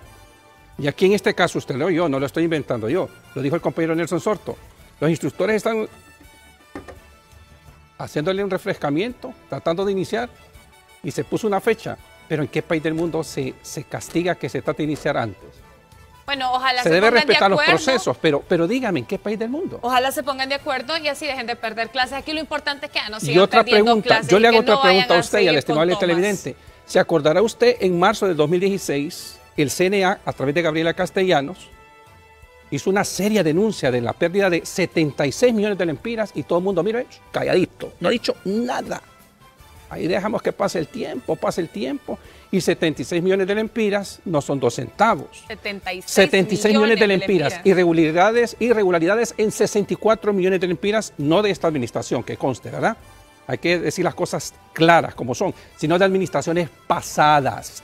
pasadas sobrevaloraron 21 millones de lempiras también en otros contratos. Y ahora, ahora la medida más fácil es despedir el montón de gente. Que despidan a los paracaidistas está bien. Pero ¿por qué nadie dice nada de ese dinero que se han robado en la institución? Y si nos vamos a administraciones pasadas. También. ¿ah? También, Jorge. Donde usted coloca al amigo del compadre que es diputado. Mire, en el Instituto Nacional de Formación Profesional ha habido también mucha corrupción y eso nadie lo puede desconocer. Ojalá que esta situación cambie en realidad con estas decisiones que ya se han tomado en este momento. Y a propósito, le decía, el Instituto Nacional de Formación Profesional a todo el personal administrativo y docente y sociedad en general comunica lo siguiente. Esta es una importante información que ellos han hecho eh, trascender a través de sus portales digitales. Hemos iniciado el proceso de matrícula a nivel nacional de manera virtual, también a través de la página www.infotvirtual.com pleca matrícula. Esto para introducir al Instituto Nacional de Formación Profesional al mundo de la tecnología, según lo que también informa. Así que la gente lo puede ver y lo puede observar a través de Perdón, página. tenemos llamada Colonia Centroamérica Oeste. Eh, adelante, por favor. Aló. Buenos días. Buenos días. Eh, fíjense que me voy a salir un poquito del tema, porque quiero hacer una denuncia al, al cartel de diagnóstico de la penitenciaría, Marco Aurelio. Ahí, ¿Cómo es posible de que los saqueadores del seguro, el ingeniero Maradiaga, Mario Rojas, viven como reyes en diagnóstico? Todos los saqueadores del Estado, también Mario Chimirri, hasta Yacuzi tienen ahí en el, en el módulo de diagnóstico. Está Mauricio Mora también, que quería mandar a matar a los testigos protegidos del caso de la caja chica. Y estos hombres viven como reyes ahí en diagnósticos. Está también el cartel de los Valle Valle, quienes decían que los mandaron para el pozo y ellos están ahí en diagnóstico, viven como reyes. Y ellos hablan y, ellos, ellos presumen de que de ahí nadie los va a mover. Importante porque ellos le pagan fuertes cantidades de dinero a Rosa Udiel a, Rosa Udía le pagan mucho dinero ellos a la directora de los centros penales. Investiguen, manden cámaras. Bien, muchísimas gracias. Importante su denuncia y vamos a dar espacio para la misma. Pero en esta situación estamos con el Infop. ¿Qué opina usted de esta situación del Infop? Colonia Reparto, adelante. Sí, adelante. Eh, muchas gracias. Quería opinar sobre los cursos que duran dos meses, tres meses. ¿Qué va a pasar con esos cursos? Vamos a hacerle la interrogante a nuestro colega Nelson Soto, que está dándole cobertura. Carolina. Bueno, ya le vamos a dar la respuesta de qué es lo que va a suceder con esos cursos que duran dos o tres meses en el Instituto Nacional de Formación Profesional. Vamos a atender más llamadas telefónicas y ya estaremos respondiendo también las consultas de la población, porque este es un tema en realidad que muchas personas están interesados. Hola, muy buenas tardes, le escuchamos. Muy buenas tardes. Le escuchamos, amigo. Ya, yo soy estudiante de Info. Cuéntenos. Nosotros, por ejemplo, hoy, hoy vamos a clases. La verdad, nosotros, yo soy de un grupo de los que estamos estudiando inglés. ¿Inglés si había clases hoy, hoy iniciaban? No, no, no. Es que nosotros estamos por terminar más bien el nivel 5. Ajá, cuéntenos. La cosa está en que nosotros estamos yendo a clases normales. Me pregunto yo, y ellos tienen problemas internos, ¿por qué no salen a hacer sus huelgas a la calle y vean a los estudiantes estudiar? no perder clases. No perder clases por culpa de unos cuantos que están ustedes se atrasan, pues. adentro del INFOP. ¿Por qué no salen a hacer su bulla a las calles y vean a los estudiantes recibir sus clases? Nosotros están atrasándonos el proceso porque uno estamos estudiando inglés, porque estamos buscando una oportunidad de trabajo fuera de nuestro país, nos están atrasando porque ese diploma que estamos eh, por terminar. Nos están atrasando más ellos, esos que están haciendo esa huelga. Ahí no saben que están perjudicando a los estudiantes, están perjudicando a personas que están sacando cursos para poder trabajar y sostener a su familia. Porque ellos que están haciendo huelga, la policía no los saca a los relajeros y deja entrar a los estudiantes. Bien, gracias por su llamada telefónica. Atendemos más Colonia San Miguel, buen día, adelante. Buenos días, de Jorgito. Encantada de que eh, estoy feliz porque por fin me cayó la llamada. A la orden. Mire, Jorgito, buenas tardes, Carolina, también. Los aprecio mucho a todos ustedes. Fíjese que yo me voy a salir del tema, corazón.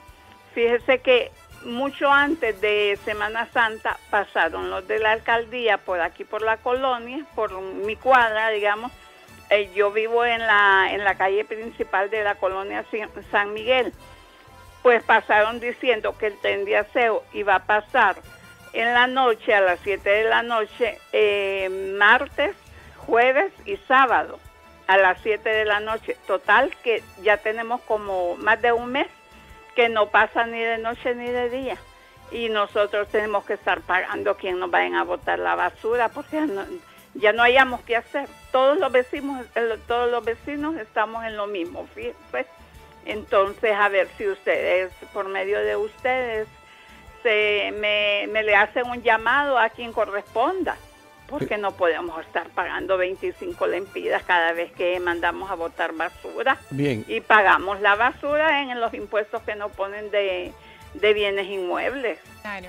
No es justo. Bien, su denuncia le aseguro que ha sido escuchada por autoridades de la Corporación Municipal, en donde no solo en esta colonia, Carolina, en la calle principal de la San Miguel, sino en la 21 de octubre. También eh, en Loma Linda, lo mismo en la situación de Colonia Kennedy, en algunos eh, supermanzanas. Solo llegaron a dejar el papelito y nos pasó el tren de aseo. Continuamos con las llamadas, Carolina. Atendemos más comunicaciones, nos vamos hacia el sector de la colonia Ato de en medio. Le escuchamos. Muy buenas tardes. Buenas tardes. Buenas, tardes. amigo. Le escuchamos.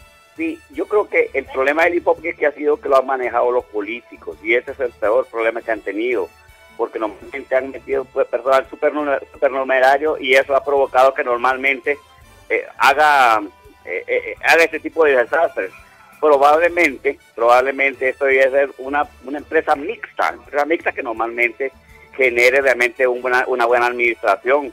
Los estudiantes no tienen la culpa de eso y a quien están perjudicando ahorita son los estudiantes. Por lo tanto, yo creo que realmente se vuelve injusto para este gobierno que realmente haga lo que está haciendo, eh, tratando de crear nuevas empresas que den servicio de eso, pero también es un problema porque normalmente quien se va a beneficiar de eso es la empresa privada ya no van a ser los, los, técnicos que están ahí en el que van a clase, van a ir a empresa privada. Lo que yo creo que debe hacer ahí es el Estado es tratar de cortar todo el personal que realmente no le sirve, que no está funcionando, y dejar los técnicos y dejar la administración que realmente valga la pena, pero si realmente pretende cortar todo el personal, es como que realmente mejor deshaga eso, todo ese edificio y se construyan otra cosa ahí, porque realmente no, no, no es posible que dejen ese, esa institución así nomás como está, pues. Además, no solo aquí, lo tienen en el Valle de Ángeles, San Pedro Sula, y son lo mejor, lo mejor que están buscando ahí, la mejor carrera es la carrera técnica. Entonces yo no sé por qué enchivolan tanto realmente los políticos haciendo cosas que no deben de hacerlas. Muchas gracias, Bonita. Muchas Muchísimas gracias. Bien, gracias por su llamada telefónica. Tenemos más comunicaciones, son las 12 del mediodía con cuatro minutos. Para nosotros su opinión es importante, para nosotros vale. Vamos hasta Nueva Orleans, en los Estados Unidos. Le escuchamos. Muy buenas tardes. Buenas eh, tardes. Eh, eh, gracias por darme la oportunidad. Quiero decirles que todo este problema que está sucediendo, viendo aquí todos los días HCH, el problema es el de la administración. Un país que es de tercer mundo, esta gente que lo quiere cambiar, el problema es que den a los hipótesis aprender cómo es Honduras. Hoy escuchando frente a frente eh, el hombre que trabaja para la empresa privada estaba hablando de tecnología moderna. Está bien. Aquí en los Estados Unidos entran los hipótesis, los que no tienen la oportunidad de ir a los colegios porque es tan caro, entonces se meten a aprender refrigeración, plomería, esto, no hacer tortillas. Entonces, ¿qué es lo que pasa? que ellos van aprendiendo de lo viejo a lo nuevo. Ahí lo que tienen que hacer es sacar a los paracaidistas que tiene Juan Orlando Hernández ahí y cómo van a creer que un abogado va a dirigir el INPO cuando lo menos que entiende es los problemas del INPO. Así sucede en todas las dependencias. A Honduras hay que salvarlo para poder. Yo felicito a este señor que está ahí, que no es como usted, Carolina, que se acomoda a, Maldonado a decirle yes a todo. No, ese señor está hablando con la verdad. Deberían de poner en el pertino a este señor y a Maldonado mandarlo a las 12 de la noche a predicar la Biblia. Muchas gracias. Bueno, gracias amigo y su opinión se respeta. Vamos a atender más llamadas telefónicas rápidamente. 12 con 5 minutos. Colonia El Pedregal, buenos días, adelante por favor. Buenos días corazones, me voy a salir del tema. Adelante. Linda Carolina, ¿me puede mandar el número de las fotografías que van a dar ahí en, la, en, la, en el Parque La Leona, por favor? Mm, fíjese que no lo tengo a mano, amiga, pero se lo voy a conseguir y antes de finalizar este espacio se lo voy a dar. Pero no porque yo le mandé un WhatsApp y no, no, me, lo ha, no me lo ha contestado, cariño. Bueno, cuando yo consiga el número, a través de mi teléfono, escríbame y yo se lo mandaré. Muchísimas gracias por su llamada telefónica y queremos que las llamadas sean del tema que estamos abordando. Colonia 23 de junio, le escuchamos. Aló, buenas. Buenas tardes. Eh, fíjese que me voy a salir un poco del tema. Es que tengo una denuncia. Mire que el día viernes vino a caer un carro aquí a la 23 y la verdad que la familia no se quiere hacer cargo y el carro está arriba de unas casas y nosotros corremos peligro. Entonces, la verdad, hemos estado llamando a la policía a ver si nos pueden ayudar, pero la verdad que no han venido. ¿Pero el vehículo lo dejaron abandonado o cayó dentro de una casa? No, el vehículo lo dejaron abandonado, rodó por, eh, por un barranco hacia abajo y abajo eh, quedó en una quebrada. ¿Y pero abajo de la quebrada hay una casa. Dígame. ¿Y ya llamaron a las autoridades, a la policía? Ya llamamos, estuvimos llamando desde el sábado y no no lo pueden... No les han dado respuesta. Bueno, esperemos que las autoridades hayan escuchado y que hoy ya les resuelvan este problema a los vecinos del sector de la 23 de junio. Vamos hasta la 21 de febrero, le escuchamos. Hola. Buenas tardes. Sí, buenos días. Buenos, días. Fíjese que quería que me hiciera un favor de pasarme los, los migrantes que llegaron de, de México, por favor. Bueno, en el vespertino vamos a... Así vamos a estar ampliando, Jorge. A esta hora vamos a dejar ahí que la gente pueda seguir opinando sobre el tema del Instituto Nacional de Formación Profesional a través de las redes sociales. Ya estará Alejandra Rubio también dando lectura a sus opiniones. Son las 12 del mediodía con 7 minutos. Hacemos una pequeñísima pausa comercial. Invitamos a que usted no nos cambie. Ya regresamos con más información en HCH Meridiano y lo dejamos con la noticia financiera. HCH Financiera. El presidente del Colegio Hondureño de Economistas, Luis Guifarro, dijo que al parecer estamos a las puertas de formalizar un acuerdo con el Fondo Monetario Internacional a través de la firma de una carta de intenciones. La misión del Fondo Monetario Internacional concluye este día su visita a Honduras y el gobierno anunció que emitirá un comunicado sobre los resultados obtenidos. En ese sentido, se recuerda que el tema central de las negociaciones era la situación de la empresa nacional de energía si la NE era uno de los principales obstáculos en las negociaciones del Fondo Monetario Internacional, pero ahora ya no aparece en la agenda. Uno puede deducir que las negociaciones están encaminadas a suscribir la carta de intenciones. Un acuerdo le permite al país poder acceder a fuentes externas de financiamiento a fin de fortalecer el presupuesto general de la República. Por otra parte, comentó que una vez que se firme la carta de intenciones con el ente supranacional, se convierte en una urgencia la revisión de las exoneraciones fiscales. HCH Financiera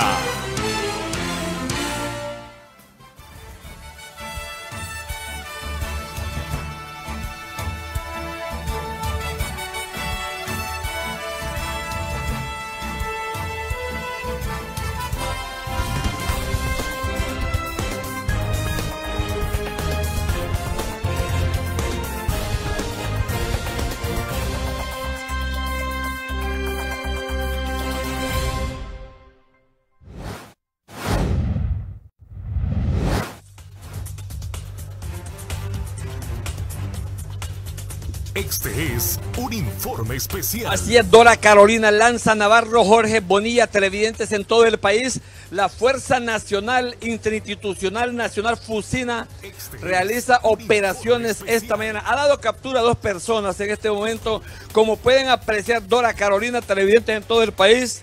Ah, mire, dos personas aquí se les ha encontrado, mire, supuestamente distribuidores de droga, distribuidores de marihuana aquí y un arma también estas dos personas, en este momento una, un hombre y una dama. Estoy aquí con la portavoz de este cuerpo policial a nivel nacional en el norte del país, Capitán Anivega, la detención de estas dos personas, una mujer y un caballero, ¿a dónde son detenidos? Supuestamente pertenecen a alguna mara o pandilla y qué hacer es decomisa a ellos. Buenos días. Así es, muy buenos días. Este día en dos situaciones diferentes, miembros de la Policía Militar del Orden Público del Sexto Batallón han realizado la detención del ciudadano Junior Leiva Leiva, a quien se le decomisó un arma de fuego tipo calibre eh, pistola 380, eh, a quien se le decomisó un cargador y 17 proyectiles sin percutar. Este ciudadano fue detenido en la colonia 14 de julio el sector Techamelecón en la ciudad de San Pedro Sur y ha remitido por el delito de posesión ilegal de arma de fuego. En otra parte, por otra parte, en horas de la madrugada,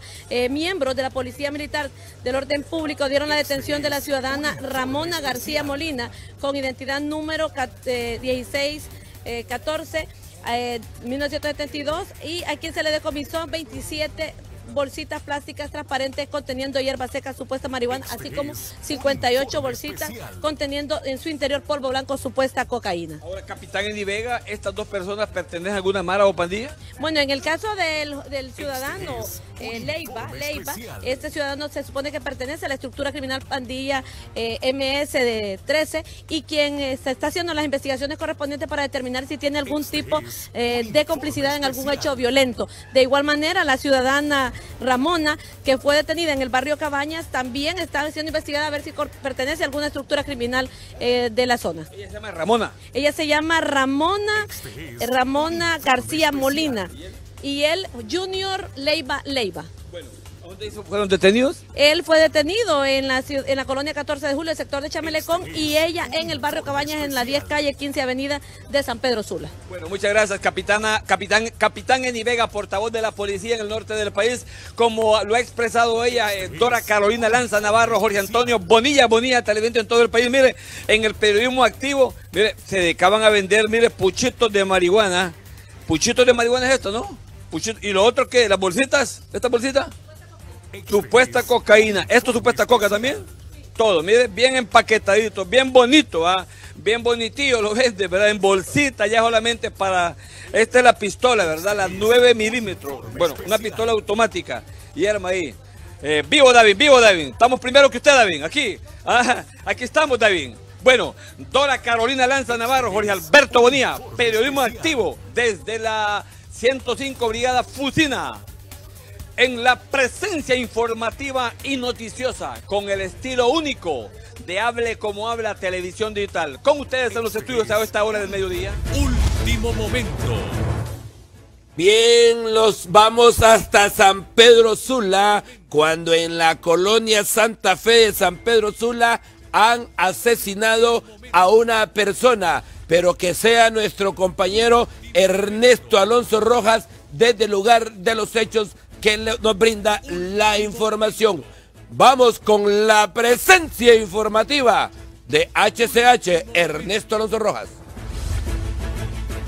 Último momento. Así gracias compañero Julio Alberto Maldonado, televidentes de HCH Televisión Digital a esta hora de la mañana. Informamos en medio de un crique aquí de la colonia Santa Fe del municipio de Villanueva, Cortés.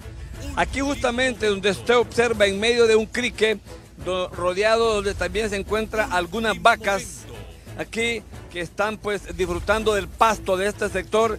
En medio de este crique muy cerca han encontrado el cuerpo de una persona del sexo masculino que está semienterrado.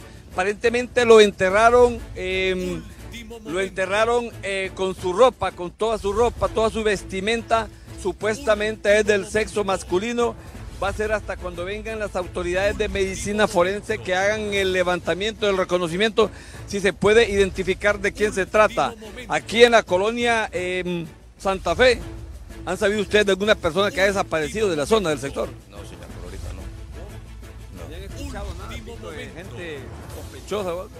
De ninguna manera por estos lados. ¿Tranquilo aquí en la zona? Sí, claro.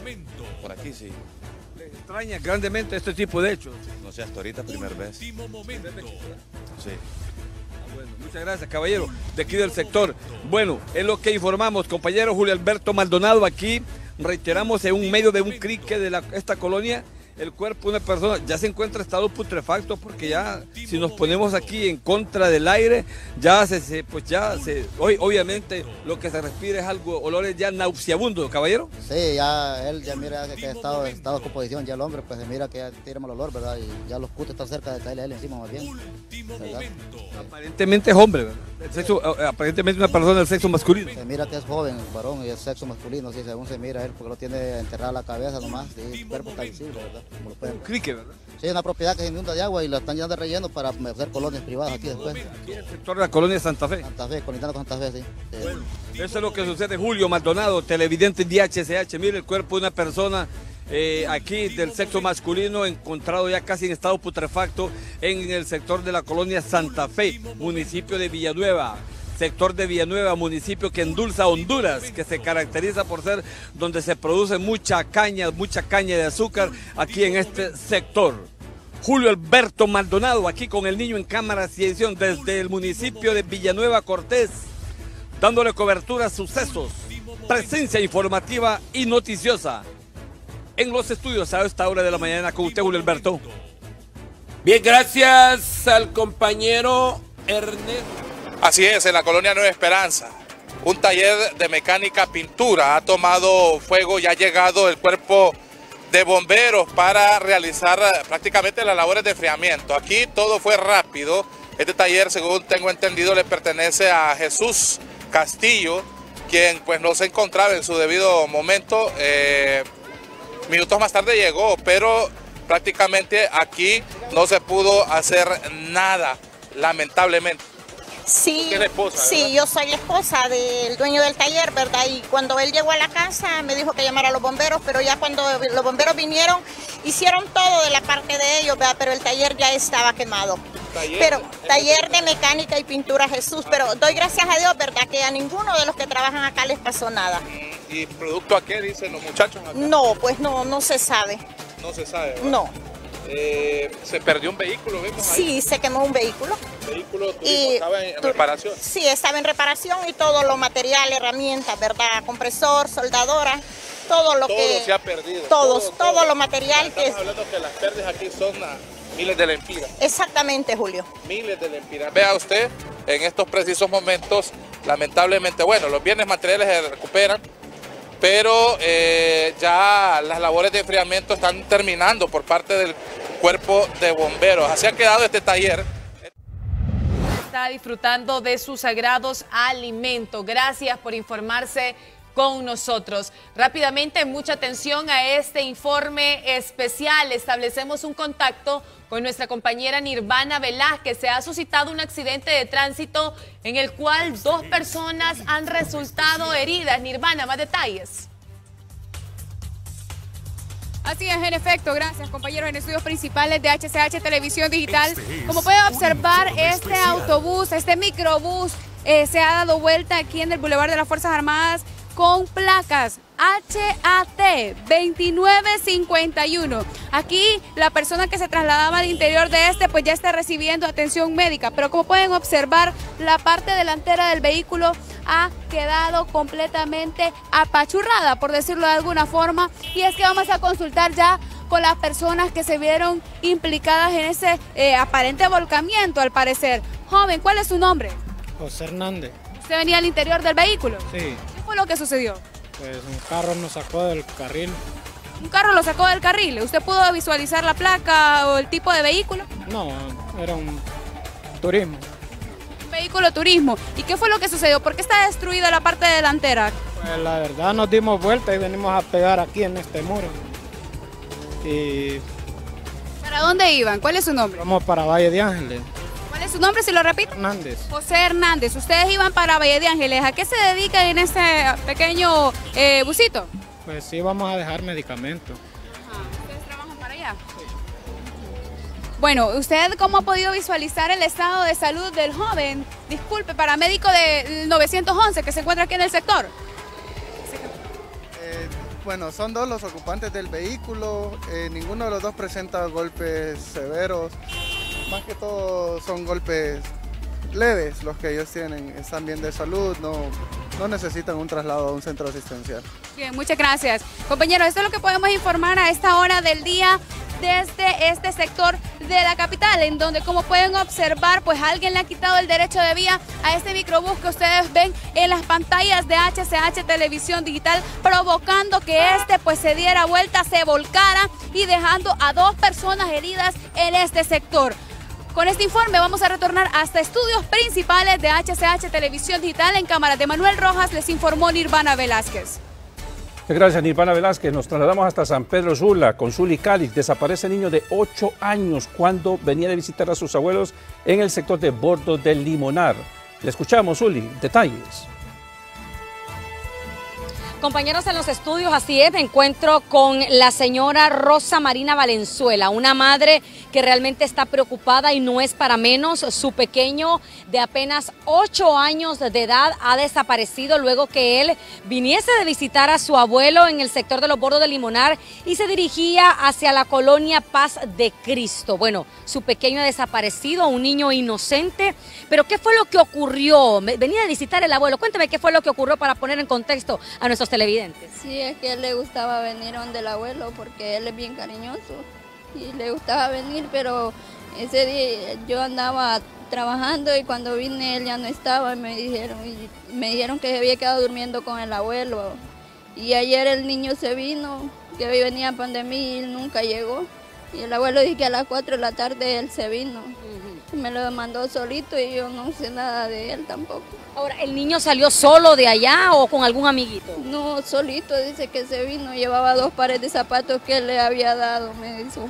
¿Acostumbraba a recorrer este trayecto él solo? No, él siempre caminaba con su hermano mayor. ¿El nombre? solo. ¿El nombre completo de su niño? Ángel Roberto Moreno. Ahora, eh, ¿usted está con el papá del pequeño? Sí. ¿Y él no, no sabe nada tampoco? No, él no sabe, él anda por allá, por el lado del seguro también. ¿Lo han buscado en los diferentes lugares ustedes? Sí. ¿Dónde han ido ya? Hemos andado por todo esto aquí, todos los bordos arriba y no, no, lo encontramos por ningún lado. Ahora, le pregunto, su pequeño, yo sé que tiene ocho años, pero yo sé que hay niños que también son tremendos. ¿Se le había perdido ya a él anteriormente? ¿Le había escapado? No, él nunca me había perdido. Primer vez que me pasa con él usted como madre, ¿qué, sospecha de esto? Eh, ¿Piensa que tal vez alguien se lo llevó al verlo inocente caminando por las calles? Eh, ¿Cuál es la, noción que tiene usted y su familia? A veces, a veces pienso que, que tal vez me lo están escondiendo la familia del papá de él, pero del papá biológico. Es decir, que el que está con, con, él, con usted no es el papá biológico de él. Él le dio el apellido porque el papá biológico murió. Entonces él lo reconoció como hijo de él y él me lo está criando. ¿Y usted teme que la familia se lo haya llevado? Sí, pero les digo que si ellos me lo tienen, que me digan que no me hagan sufrir así. ¿Le habían amenazado con intentar quitárselo? Cuando él estaba chiquito me decían que me lo iban a quitar cuando estaba vivo el papá, pero no, no sé, tendrán el corazón de tenérmelo y no me quieren decir, no sé. Bueno, aquí está esta madre desesperada entonces, imagínense ustedes, el pequeño Ángel Roberto Moreno, el número telefónico para que la puedan llamar eh, si alguien lo ha visto y de igual manera, ¿verdad? Si esta familia lo tiene, no es justo que esta madre esté sufriendo y pues por lo menos que se comuniquen con ella y que le diga, aquí lo tenemos. Eh, ¿Algún número telefónico? El 9914-4183. Así es, muchas gracias eh, Rosa Marina Valenzuela, 9914-4183 y también el 8795-0109 para que se puedan comunicar con ella. Si ellos lo tienen, pues darle paz a esta madre y que ya pueda descansar tranquila, sabiendo que alguien se lo tiene y de lo contrario, pues a las autoridades policiales a emprender la búsqueda de este menor. Con las imágenes de mi compañero Eduardo, el Toro Mengíbar, vamos a regresar nuevamente hasta los estudios. Gracias, Zuli Calix, y ojalá este niño pues aparezca con bien y que se lo entreguen a su familia lo más pronto posible, su madre que está muy preocupada y si usted lo ha visto ya pues sabe los números en los cuales se puede comunicar para brindar información sobre este niño que desapareció en los bordos de Limonar. 9914-4183 es el número telefónico para que pueda brindar usted información sobre el paradero de este menor. Pero rápidamente vamos con más noticias y inicia la jornada de vacunación a nivel nacional. Esto como un aporte de la OPS y la Secretaría de Salud. Brenda Moncada nos amplía. Muchas gracias compañeros en estudios. Me acompaña la doctora Piedad Huerta. Buenas noticias la Organización Panamericana de la Salud. Asimismo, la Secretaría de Salud inicia el día de hoy la jornada de vacunación. ¿Qué tipo de vacunas y a qué sectores de la población va a llegar esta vacuna? Esta jornada promueve la vacunación para todas las edades, toda la familia en todo el ciclo de vida. Es muy importante completar los esquemas de vacunación de los niños pequeños, asimismo vacunar a las niñas de 11 años de edad contra el cáncer, bueno, pues la prevención del cáncer cervicuterino con la vacuna del virus del papiloma humano, eh, la vacuna de influenza importantísima, especialmente para las personas de la tercera edad, personas que tienen enfermedades crónicas como diabetes o enfermedades del corazón. Eh, especialmente los trabajadores de la salud y las mujeres embarazadas. Es sumamente importante. En este caso y este año también se ha integrado más sectores de la población, estamos hablando de menores de edad de 3 a 26 meses. Sí, así es. En realidad en la jornada se tratan de cubrir todo el ciclo de vida. Las vacunas protegen contra las enfermedades, las vacunas son muy efectivas. Eh, este país tiene la enorme ventaja de que todas las vacunas están disponibles de manera gratuita a través del sistema de salud y que en esta jornada se dedican de dos a tres semanas en todo el país para hacer la vacunación. Ahí salen un montón de héroes y heroínas de bata blanca con las enfermeras, auxiliares de enfermería, recorren lomas, cerros, eh, ríos, valles, en el calor intenso recorren las viviendas para promover la vacunación y para brindar la vacunación. Muchísimas gracias a la representante OPS. Aquí les voy a mostrar en estos momentos. Inicia la jornada de vacunación y las grandes heroínas y los grandes héroes son los enfermeros y enfermeras. ¿Lista para vacunar? Sí, ya estamos listos. ¿Qué tiene disponible? Bueno, estamos invitando a toda la población, ¿verdad? En general, a que venga a aplicarse la vacuna contra la influenza gestacional. También estamos vacunando a niños menores de 5 años. Tenemos todas las vacunas para aplicar y estamos desparasitando también. Este año ustedes tienen una nueva orden que es aplicar también la de influenza a menores de edad. Sí, cómo no. A partir de los 6 meses de edad estamos aplicando la vacuna. Es al pueblo, a todo en general. A estar pendiente la población también con su carnet de vacuna. Sí, claro, con los menores de edad, los niños menores de 5 años, las madres, los padres tienen que dar su carnet de vacuna para ver qué vacuna hace falta y nosotros la aplicamos.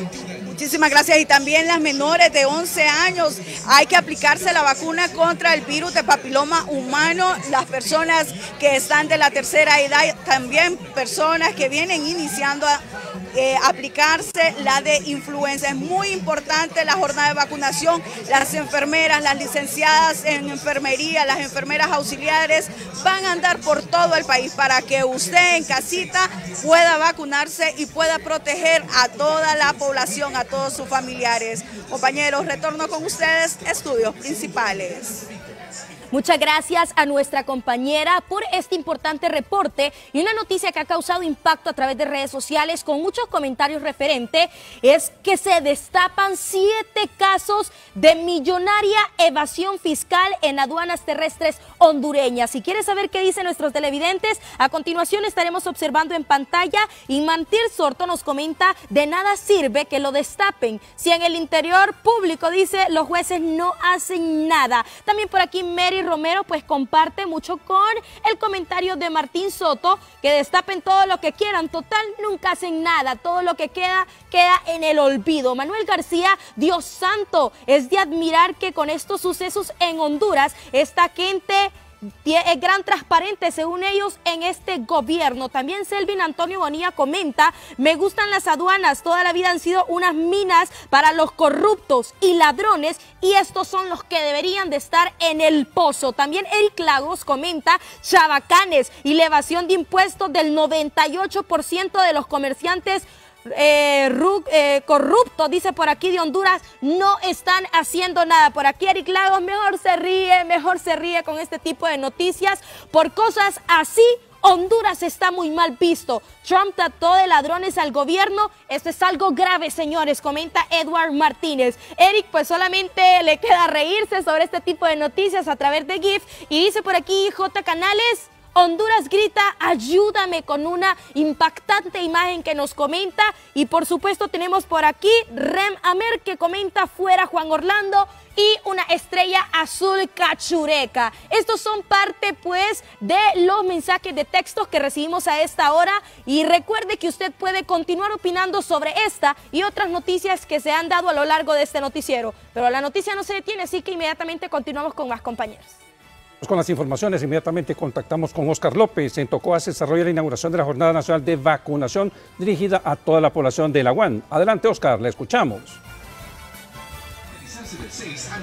Muchas gracias, eh, compañeros. Arranca la jornada de vacunación en el municipio de Tocoa y exactamente del Centro de Salud del Hospital San Isidro. Me acompaña la doctora Vilorio, es la directora de este centro asistencial. Doctora, en esta oportunidad se ha arrancado esta importante jornada. Sí, buenos días. Aquí estamos inaugurando la Jornada Nacional de Vacunación que se va a extender en nuestro municipio del, del 6 de mayo al 24 de mayo. Casi siempre lo extendemos una semana más porque queremos abarcar una población de más de 5 mil habitantes que son las edades comprendidas entre 0 a 5 años, jóvenes, eh, adolescentes de 11 años para la vacuna contra el virus de la, del papiloma virus humano, eh, jóvenes de 21 años para hacer el reforzamiento de la antitetánica, eh, embarazadas, eh, ancianos en edades vulnerables también y aquellos pacientes con enfermedades crónicas no transmisibles como diabetes, hipertensión, cardiopatías, que se les pone el refuerzo de la influenza o la vacuna contra la influenza.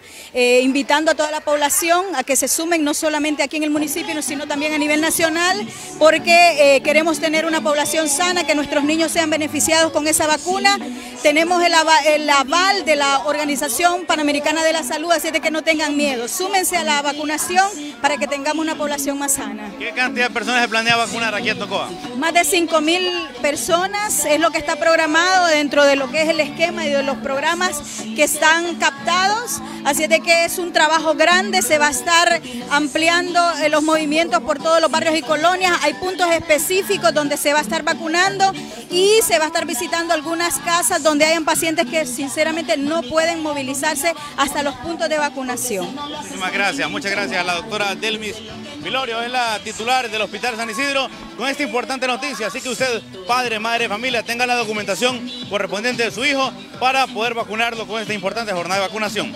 Con la cámara de Hugo Varela, Oscar López, volvemos a Tegucigalpa. Bien, gracias a nuestro compañero Oscar López. Y hoy los hondureños nos levantamos con la mala noticia de que pagamos más en el precio de los combustibles. Ya algo cotidiano porque todos los lunes sucede. Le voy a mostrar a continuación los precios de los combustibles que entraron en vigencia a partir del día de hoy a las 6 de la mañana. La gasolina superior aumentó 26 centavos, su nuevo precio 101 lempiras con 74 centavos. Imagínense, estamos a poco ya para pagar los 102 lempiras. La gasolina regular eh, aumentó 79 centavos, su nuevo precio 92 lempiras con 73. El diésel aumentó 42, su nuevo precio 84 lempiras con 56. El querosén va la alza con 38 centavos, su actual precio es de 67 lempiras con 87 centavos. El LPG doméstico se mantiene a 278 lempiras con 24 y el gas LPG vehicular ha disminuido 13 centavos. Su nuevo precio de 41 lempiras con 5 centavos pasa a 40 lempiras con 92 centavos. Y siempre referente sobre este, este mismo tema, atendemos en la línea telefónica a Víctor Aguilar de Ataxi y es que hoy ellos se van a reunir. ¿Para qué es esta reunión tan importante? En este caso, el 11 de mayo. El 11 de mayo es la reunión en el sector de Ciguatepeque y hay ya confirmados 70 en este caso 70 representantes del rubro que va a llegar a esta reunión. ¿Cuáles son los, van a ser los puntos a tratar? ¿Ustedes están pidiendo revisión también a la tarifa o no se va a respetar esto? Porque en realidad estos trancazos vienen a afectar al bolsillo hondureño y es que aquí cuando muchos se aprovechan para subirle a todo y en este caso no queremos que se le suba al taxi. Víctor Aguilar, muy buenas tardes. Muy buenas tardes, gracias por el espacio. La verdad que nosotros como asociación de taxi eh, siempre hemos estado eh, eh, a favor del pueblo, ¿verdad? Porque siempre hemos sabido que y sabemos que nosotros como representantes de, de taxi siempre hemos estado con el pueblo porque somos pueblo. Mire, Carolina, nosotros tuvimos una reunión el 26 de marzo donde nosotros le hicimos tres propuestas a la comisionada presidente Piwani William, donde realmente nosotros eh, le pedimos que, o sea, el aumento del combustible viene para arriba. Y si más bien es cierto en la fecha de septiembre eh, vino un aumento que lo hicieron, ese aumento fue ilegalmente porque no fue por la revisión de tarifa, no fue por la fórmula que debería ser, porque realmente esa fue una negociación como ha sido por todos los tiempos que lo hacen ellos, como dicen, negociando bajo la mesa. Entonces nosotros eh, no, eh, fuimos los únicos que siempre estuvimos con el pueblo, estuvimos a favor del pueblo, donde realmente nosotros eh, los mantuvimos que fuera la rebaja a los combustibles. Bueno, se aumentó en septiembre un lempira, en octubre otro lempira, nosotros siempre estuvimos en contra de eso, bajó el combustible en diciembre, bueno, ahorita ya mira que ya va casi a 103 lempiras prácticamente el combustible, la, próxima semana yo creo que va a pasar. Entonces nosotros convocamos a todo el gremio del taxi, porque desde el 26 de marzo, ahí perdone la repetición que me, me confundí, desde el 26 de marzo eh, nosotros estamos esperando una respuesta. Nosotros tenemos una ayuda a memoria donde la comisionada William los atendió a taxis a nivel nacional. Llegamos casi 47 eh, filiales porque nosotros somos una asociación a nivel nacional y ella se comprometió de que y la propuesta que nosotros le llevamos, más que todo para ser puntual con el pueblo y con ustedes también, mire, nosotros le propusimos a ella que hiciera normal la revisión de tarifa, que, que, hiciera, porque eso ya está en ley, eso es ley ya, no, no es que lo estamos inventando, eso ya está en ley. Entonces, hacer la revisión de tarifa y que lo que salga de, de, la, la, revisión de tarifa, lo que salga del valor del pasaje, que realmente se le, sea público y se le comunique al pueblo qué, es lo que realmente tiene que pagar del pasaje. Bueno, porque nosotros necesitamos, porque si la, la gasolina viene para arriba, nosotros no podemos laborar con esos costos. Una, la Víctor Aguilar, buenas tardes. Mire, Don Víctor, ¿nos escucha? Sí. Don Víctor, una consulta. Ustedes sí, son dígame. personas inteligentes, hay gente inteligente en el, grupo, en el rubro taxi. En esa reunión con la comisionada William, mi pregunta es, ¿qué explicación creíble les dijeron sobre el precio del barril del combustible? ¿Qué les dijeron? No, es que ellos no dicen nada de eso. Bueno, ahí lo tienen entonces, Jorge. ¿por qué se dejan dar a tol con el dedo? Exacto, nosotros estamos porque no queremos confrontar. Mire, ya estuvieron los maestros en la calle, estuvieron los doctores en la calle. Nosotros queremos, no queremos, como dice un compañero de los de nosotros, meterle más juego al país. Nosotros queremos hacer todo medio el diálogo. Mire, se le hizo otra propuesta a la comisionada William. Bueno, hagamos algo. Nosotros vamos a quedar callados, no vamos a pedir que los aumente, no vamos a pedir revisión de tarifas, los vamos a mantener con eso, pero quítenlos toda esa ilegalidad que anda en la calle. La ilegalidad que anda en la calle, la mototaxi, los buses brujitos, todos esos andan en la calle y no estamos eh, en contra de que no trabajen eh, ellos, para que trabajen, pero que eh, busquen su propia ruta, que no interrumpen las rutas de nosotros. Esa es la otra propuesta. Don Víctor, discúlpeme, pero con 101 lempiras, con 74 centavos la super, 92.73 la regular y 84.56 el diésel, ¿ajustará para hacer la tarifa? Mire, si es que esto es lo que pasa, que la, los compañeros, por es que hay mucha, por eso es que hay mucha delincuencia en este país, por eso es que hay mucho, o sea, se inventan cada día unos extorsionadores más, porque es lo más fácil agarrar el dinero, solo pedir, porque nosotros, los compañeros taxistas, están llevando 70, 80 pesos, ¿quién va a sobrevivir con ese dinero? Dígame usted si cuando usted tiene tres o cuatro hijos y los manda a la escuela, de que le den unos 10 pesitos a cada niño, imagínense y va a estar trabajando usted con eh, ganando 80, claro. 70 lempiras. No, no, no es justo, pues. Bueno. Entonces la comisionada William eh, se comprometió a, a esa propuesta que nosotros les hicimos para que realmente no venga a sufrir el pueblo los aumentos que se están dando. Nosotros lo que queremos es mantener la tarifa, pero le, la otra propuesta que le hizo, disculpe, don Jorge y Carolina, eh, fue, bueno, dieron un descuento en bomba al sector taxi. Correcto. Para que se mantenga, del sector taxi se mantenga, ya que realmente ellos les están dando un descuento claro. a una pequeña parte de, de los taxis, sí se le está dando, ya lo están dando de cuento. Pero a taxis, como a taxis fue una de las que no se vendió, de las que no tuvo compromiso con el gobierno, de la que siempre estuvo a la par del pueblo, no le quieren parar bola a taxis. A taxis la están ignorando y no saben que van a levantar un monstruo de que ya día saben que a taxis cuando sale a las calles sale en verdad. Entonces nosotros estamos convocando para el 11 de mayo a las 9 de la mañana en Cihuatepeque, ahí van a estar cualquier cantidad de organizaciones Claro. de taxis, porque no solo a taxis depende. Bueno, Entonces- gracias a don Víctor Aguilar de Ataxis y estamos al pendiente de lo que suceda en esta reunión el 11 de mayo y ojalá aquí no nos toque a nosotros pues pagar un aumento, un aumento en el precio del taxi. Ojalá, Carolina. pues llegue un acuerdo. Pero Jorge, a esta hora tenemos información de último momento. Mucha atención. Último momento. Último momento.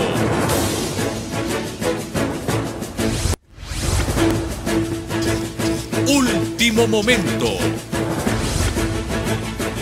Último momento. Último momento. Último momento.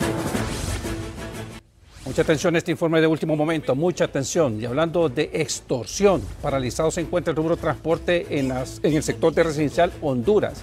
Ya no se soporta, inclusive hay amenazas a muerte. Compañera Jocelyn Flores, le escuchamos. Momento.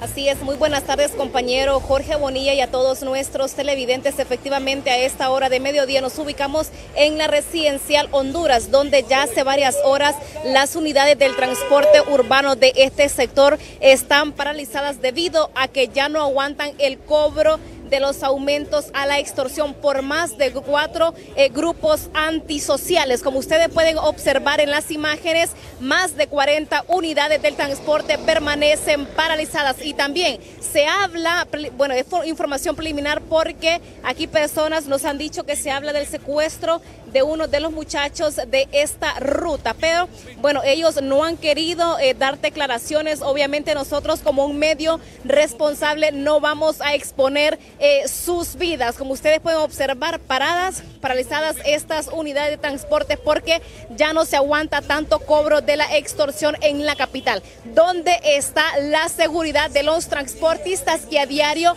exponen eh, sus vidas? Nosotros le hacemos el llamado a las autoridades correspondientes a que realmente se pongan los pantalones y frenen este tema de la extorsión en la capital. Tras cámaras, tras cámaras, vamos a conversar eh, con uno de ellos. Eh, mi amigo, ¿desde qué horas ustedes están paralizados aquí en este sector? Ya rato, ya, ya, sí, a ratito. Yo vengo llegando ahorita. No se sabe si en horas de la tarde van ustedes a continuar o definitivamente hoy no van a trabajar. No, no sabemos todavía, hasta nuevo aviso. Óigame, está terrible esto del cobro de la extorsión. Está terrible, ya no aguantamos eso ya. A diario ustedes se exponen su vida. Así es, a diario, a cada momento andamos aquí arriesgando nuestra vida, a la mano de Dios, como dicen. Óigame, ¿y las autoridades correspondientes? Pues, no sé. ¿Están solos ustedes prácticamente a la deriva? Sí, porque no nos hacen presentes, aquí estamos nosotros a la deriva, como dice usted. ¿A cuántos grupos antisociales más o menos le pagan ustedes el cobro de la extorsión? Como cuatro, cinco, como cuatro. ¿Cuánto les pagan? ¿Semanal les pagan ustedes? Sí, semanal. ¿Cuánto? Alrededor de mil, mil quinientos lempiras. Demasiado, ¿verdad? Ya no se aguanta, ya no se puede trabajar. No, no se puede así. Uno queriendo llevar el pan a nuestras casas y con esta gente no se puede porque aquí eh, a veces nosotros pagamos y, y los dueños de buses no pagan, son uno que de nuestra bolsa que sale el pagar esto. Ahora, ¿ustedes cuánto ganan semanal o diario les pagan a ustedes? En mi caso pagan diario y ¿Cuánto gana usted diario? Depende cómo se esté el día. Me puedo llevar 200, 300 lempiras diarios, pero Ahora, con 200 lempiras pírricos que usted gana, que eso no es nada, con eso mantiene a usted a su familia y aún aquí exponiendo su vida no, la verdad que es bien difícil. Es bien difícil, uno hace la lucha. por la necesidad que hay en el país por la falta de empleo, ¿verdad? Así es. Así ¿Cuántas personas mantiene usted? No, yo no mantengo ni una, pero Igual 200 lempiras diarios, eso no es nada. Le ayudo a mi mamá, le ayudo a mi mamá porque vivo con ella. Pero es difícil, es difícil. Con la crisis que está el país y todo eso es bien difícil. Ahora, ¿ustedes caminan seguridad aquí en este No, ni las conocemos. Solamente con Dios. Solamente con Dios. ¿Están olvidados ustedes de transporte urbano, que igual es un oficio muy importante? Sí, sí, así es. Pero no miramos seguridad en los buses ni nada aquí. Más bien caminan molestando en la calle, los policías, haciendo esquelas y todo, pero de que van a subirse a una unidad a darse protección no lo hacen. Ahora, eh, a nosotros pues una persona nos dijo que se hablaba del secuestro de uno de sus compañeros. ¿Esto es verdadero o es negativo? Pues no me doy cuenta, yo todavía no me doy cuenta. Como hace poco vine, no me doy cuenta. No se sabe hasta cuándo van a, reanu- a reanudar nuevamente aquí. el- No, tal vez no salgamos hoy ya, o hay que esperar que se soluciona. ¿Cuántas unidades están paralizadas en estos momentos? Como 60, unos 60 unidades. Sí. Obviamente esto es una pérdida para ustedes. Sí, pérdida para nosotros y también para el usuario que, que se transporta. Tiene que buscar otro método de cómo transportarse a ese lugar que va. Bueno, eh, muchísimas gracias al amigo aquí del transporte público de la residencial Honduras. Ellos ya nos han podido decir, más de cuatro grupos antisociales se están cobrando el cobro de la extorsión y la seguridad del país brilla por su ausencia. Compañeros, nosotros eso es lo que les podemos informar a esta hora del mediodía. Gracias a nuestra compañera Jocelyn Flores y este es un problema que se está viviendo, Jorge, a nivel nacional y que no para. Y lo más lamentable es que cuando las personas no pagan este mal impuesto llamado de guerra, Sí pagan con sus vidas, desgraciadamente. con sus vidas. Imagínense Y qué no. ironías de la vida. Ajá, y los botones de sabe- pánico, las cámaras de seguridad entre los buses. No, eso quedó como un las- sueño. Y la- ¿sabe las qué es lo peor, fuerzas Jorge? Que muchos puntos de, de buses y taxis están así amenazados y ante la situación y el Solo el de miedo arriba, no Carolina. lo denuncian. Solo el de arriba. Fíjense que hoy en horas de la mañana recibíamos que en el sector de la colonia Quesada estaban paralizadas también las unidades, pero al final fuimos a cubrir la noticia y todo estaba funcionando de manera normal. Y a veces por un temor los mismos conductores, las mismas personas de los sectores no, no, no denuncian ante las autoridades por el temor a que vayan a asesinar a un conductor Pero, de rapidito, ¿quién va a hablar? un conductor de ¿Quién taxi, va a a un hablar? conductor de, de autobús, de vehículo amarillo. Pero rápidamente, cuando son las 12 del mediodía con 47 minutos, vamos a hacer una importante conferencia de prensa que se está brindando desde Casa de Gobierno. Ahí se encuentra Julio Alberto Maldonado. Escuchemos. Bien, gracias compañeros en el estudio. Vamos a escuchar a Marlon Tabora en este momento sobre la declaración y algunos miembros del Banco, del Fondo Monetario Internacional.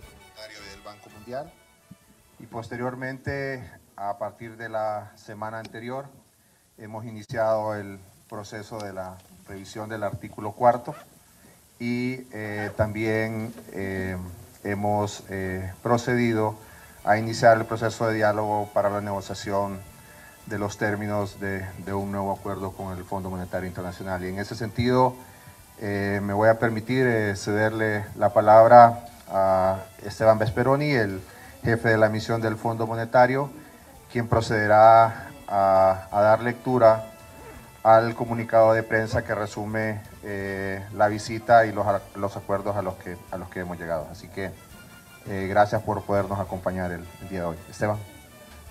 Muchas gracias, Marlon. Buenas tardes. Bueno, voy a leer el comunicado.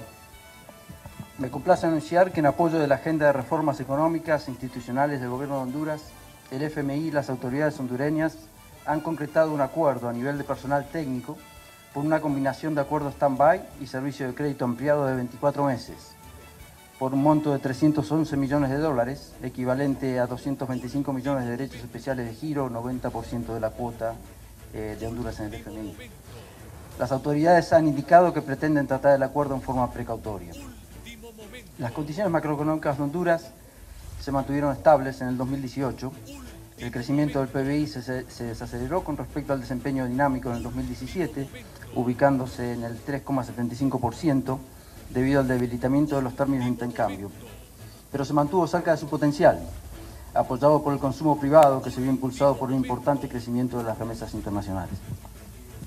La inflación se mantiene estable, cerca del punto medio de la banda de 4 más menos 1% fijada por el Banco Central.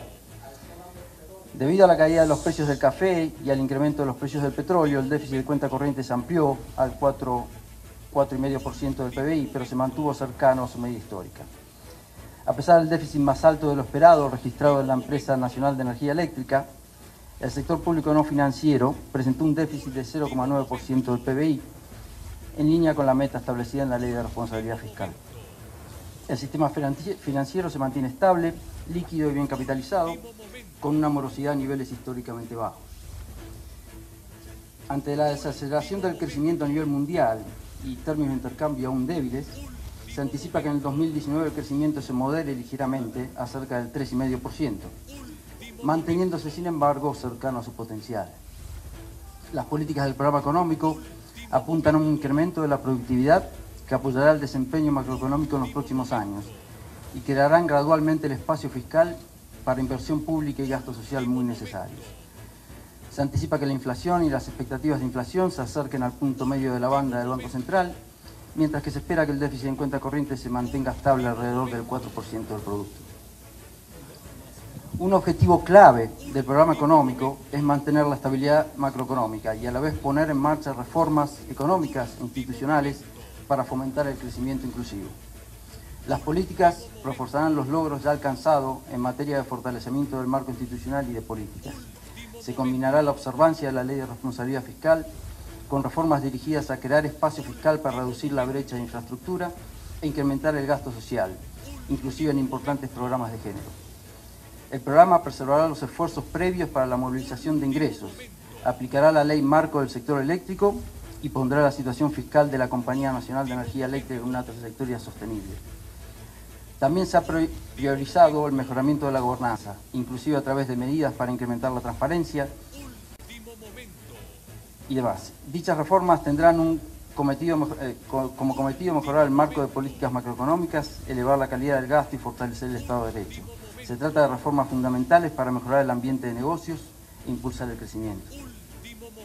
La política monetaria seguirá dirigida a controlar la inflación y mantener niveles adecuados de reservas internacionales. Asimismo, el programa tendrá como objetivo el ulterior fortalecimiento de la política monetaria y las instituciones financieras, el desarrollo de los mercados monetarios y cambiarios para apoyar la transición a un sistema de metas de inflación y el mejoramiento del marco macroprudencial para reforzar la estabilidad financiera. La misión mantuvo conversaciones con el presidente Juan Orlando Hernández, el jefe de gabinete económico Marlon Tábara, el presidente del Banco Central Wilfredo Serrato, la ministra de Finanzas Rocío Taura, la ministra directora del Servicio de Administración de Rentas Miriam Guzmán, la presidenta de la Comisión Nacional de Bancos y Seguros Etel Deras, así como otros funcionarios de alto nivel y representantes del sector privado. El equipo del FMI agradece a las autoridades de Honduras y a las demás contrapartes por los excelentes intercambios y reitera su gratitud por la cálida hospitalidad recibida. Muchas gracias. ha sido el representante del Banco Mundial en esta información que están dando, pero vamos a las preguntas y respuestas. Vamos a ver, hay una conferencia de prensa, respuestas, que vamos a escuchar las respuestas primeras. Pues, escuchemos a Abraham Ardón de HRN. Escuchemos al compañero Abraham Ardón de HRN.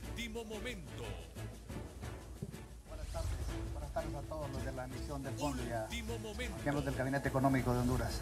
Eh, don Esteban, eh, fecha tentativa para este desembolso de esta cantidad de 311 millones de dólares, eh, a desembolsarlos en Honduras, para Honduras. Y otra, otra cosa, ¿ya se tiene el destino de estos fondos en qué se va a invertir en el país? Bueno, déjeme, es una buena pregunta, déjeme decirles que en, general los, los, programas financieros del fondo no, no necesariamente involucran desembolsos. Eh, lo que les decía durante el comunicado es que las autoridades no, no, no, tienen planeado desembolsar. No va, a haber, no va a haber un desembolso, lo que quieren hacer las autoridades eh, es usar el acuerdo este, de forma precautoria. O sea que no hay fecha planeada para un desembolso en particular. Muy bien, periodista Julio Maldonado de HCH. Aquí hay una pregunta muy importante, interesante. ¿Cuál es la exigencia del Fondo Monetario Internacional en relación a los temas de la salud y la educación? ¿Es una exigencia de ustedes de despedir a la gente al final? No, eh, la respuesta es no. Eh, en todas las conversaciones que hemos tenido tanto en Washington como aquí en las últimas semanas, Eh, sobre el programa económico de las autoridades no hay medidas específicas de salud y educación. Muy bien, periodista Claudia Cáceres de Radio Cadena Voces. Sí, buenas tardes, señor. Eh, ¿Qué nos puede decir usted? ¿Vieron ustedes el plan de la Empresa Nacional de Energía Eléctrica? ¿Y qué nos puede comentar al respecto? Además, ¿creen que se puede solventar esta problemática en AN? Bueno, sí, se ha conversado muchísimo sobre el plan, eh, el plan en general en el sector eléctrico y, en, y en ENE. Eh, de las conversaciones que, déjeme aclarar antes de comenzar, que es un plan estructural, de las conversaciones que, de las conversaciones que hemos tenido con las autoridades eh, sobre las políticas para darle sostenibilidad al sector en general y al ENE en particular, este, se desprende que no, es, no son cosas que uno puede- pueda solucionar solamente a través de la política tarifaria, no, no va por ese lado. Eh, la política tarifaria en Honduras eh, tiene un marco institucional para, para ponerla en práctica y nosotros creemos que, eh, que lo que se debe hacer es solamente seguir el marco institucional que ya está establecido para eso. Dicho sea, habiendo dicho eso, el- justamente el tema con el plan para el sector eléctrico y para ENES, que es algo mucho más estructural, polifacético, involucra, involucra muchas medidas e involucra, eh, involucra a todos los actores relevantes en el sector. Eh, desde nuestro punto de vista hay, eh, hay tanto ventajas como, como desafíos en, en este, en este plan. Yo creo que la gran ventaja en el caso de Honduras es que el, el marco, el marco legal eh, para la reforma del sector eléctrico eh, ya lo tienen. Eh, ha sido aprobado por el Congreso hace algunos años. Y nosotros creemos que el marco legal que ha sido aprobado por el Congreso es, eh, está en línea con buenas prácticas internacionales. O sea, Honduras parte de, de una situación ventajosa en el sentido de que ya se han puesto de acuerdo. Esos consensos ya los han alcanzado, ya han sido apro- aprobados en el Congreso y eso es muy importante. Por el lado los desafíos, eh, el tema es que es, un plan, es un plan complejo. Eh, este, es un plan complejo y, que tiene, por supuesto, riesgos de implementación y que debe ser aplicado con celeridad y, con mucho, muy enfocado. Este, como les decía, va a involucrar a todos, eh, a todos los actores este, relevantes en el, en el sector. La forma en que nosotros vemos este plan es como separada en dos bloques. Por un lado hay un bloque institucional y por otro lado un bloque más operativo y financiero. Desde el punto de vista institucional, como les decía, es, desde nuestro punto de vista es, es implementar la ley marco del sector eléctrico que ya tienen, eh, lo cual implica fortalecer los entes regulatorios, la CRE, crear el operador de mercado, eh, proseguir con la decisión de la, de la Empresa Nacional de Energía Eléctrica, como lo marca la ley. Eh, y en general son todas reformas que van a hacer que el sector eléctrico funcione de una manera, de una manera en un marco, en un marco con reglas que son internacionalmente eh, razonables. Eh, por el lado operativo y financiero es, es- es complejo, hay, eh, como les decía, todos los actores tienen que estar, tienen que estar involucrados, Está- hay un tema con la generación y yo creo que los, los, los, los atrasos en, los, en los últimos trimestres en los pagos de generación muestran que hay una necesidad de sentarse a conversar los temas de generación con todos los actores del sector, inclusive los actores privados. Eh, luego hay un tema muy muy importante que es el tema de la, de la reducción de pérdidas. Ese es un tema, ese es un tema clave. Eh, gran parte de los problemas financieros y de las presiones que el ENE está poniendo sobre las finanzas públicas está relacionado con niveles de pérdida muy muy grandes. Eh, en ese sentido el gobierno tiene intenciones de sentarse a revisar ese contrato eh, que tiene con la empresa EH eh, para, para, para ver si el contrato tiene incorporado los incentivos necesarios para, que, para poder relanzar un plan de reducción de pérdidas eh, agresivo, que es importante. Por el lado financiero, eh, el objetivo de las autoridades es, es tratar de lograr un readecuamiento de la deuda del ENE, que es, que es grande, eh, son, son unos 2.700 millones de dólares, incluyendo los atrasos. Eh, lograr una un adecuamiento, un readecuamiento para extender los plazos y reducir, y reducir el costo de la deuda, eh, principalmente apalancándose con, con garantías de organismos multilaterales. O sea que todos estos elementos, y son al menos cinco, eh, son algo complejo, pero nosotros vemos como un plan viable, pero es un plan que requiere una implementación eh, enfocada, eh, disciplinada y, y- y rápida. Muy bien, continuamos con el periodista Luis Durón de BTV Noticias. El compañero Luis Durón, vamos a escuchar la última pregunta que se va a formular aquí en el lugar hecho. Muy buenas tardes, don Esteban, y a los miembros del gabinete. Don Esteban, no sé si nos puede confirmar si este nuevo, pro- este nuevo programa no incluye más y nuevos impuestos y además cómo se mantiene la estabilidad fiscal y la inversión del gobierno. Eh, sí. Deje- déjeme dar un paso atrás y, contestar la pregunta desde un punto de vista más amplio. Yo creo que para, para, para empezar a comenzar este hablar de este programa, yo creo que es importante considerar el contexto y de dónde, de dónde partimos aquí en Honduras. En particular es, es importante porque el contexto internacional está empeorando, la economía global se está desacelerando. Ustedes sabrán, no les tengo que contar, que hay muchos países de la región este, que están teniendo dificultades este, severas eh, en toda la región. En este contexto, yo quiero remarcar que Honduras arranca de una posición privilegiada, una posición que han sabido construir. Eh, hay, un, hay, un, hay, un, hay una situación macroeconómica estable en, en un contexto de crecimiento. Ese es justamente el mérito de políticas económicas que se han tomado en los últimos años, es mérito de las autoridades de Honduras. Y es importante remarcarlo, primero por la cuestión del contexto eh, regional del que les hablaba, y segundo porque es un gran mérito, y pone el próximo programa también en el contexto de qué es lo que se quiere lograr. Y, yo creo que es importante la cuestión, la, mención que hizo a, la cuestión de estabilidad, porque eh, en, en- definitiva el objetivo, el gran objetivo del programa es fortalecer y consolidar muchas de las ganancias en términos de estabilidad macroeconómica que se han logrado en los últimos años. Básicamente el programa tiene, eh, tiene, tiene cinco componentes. Por un lado, por supuesto, está la, reforma de NE, que, es lo que, es lo que comentamos en la, en la pregunta anterior. Como les decía, es un plan complejo, pero viable y que necesita implementación rápida. El segundo componente del, del programa es, es- importante y básicamente implica cu- cumplir con el marco de política macroeconómica que tiene el gobierno de Honduras. Básicamente hacer estas reformas en el, en el ENE que le están poniendo muchísima presión a las cuentas fiscales en un contexto de estabilidad, en un contexto en el cual se respete la ley de responsabilidad fiscal, que es el, que es el, primer, el, el primer paso importante para que estas reformas también sean viables, porque estas reformas van a requerir tiempo. Hay que empezar rápido, pero van a requerir tiempo. Un tercer elemento del programa es en este contexto de hacer las reformas de ENE en un contexto de estabilidad macro y estabilidad fiscal, es tratar de mantener la calidad de la política fiscal. Y ahí es donde entra el, tema de los ingresos que usted mencionaba. Eh, mantener la calidad de la política fiscal significa mantener un, mantener un marco fiscal consistente y sostenible en el largo plazo, pero al mismo tiempo tratar de proteger, eh, proteger otros gastos que son muy importantes para la economía hondureña. Me refiero a los gastos de inversión en infraestructura, me refiero, me refiero a los gastos en programas sociales, hablamos de los programas de género hace un, hace, hace un ratito.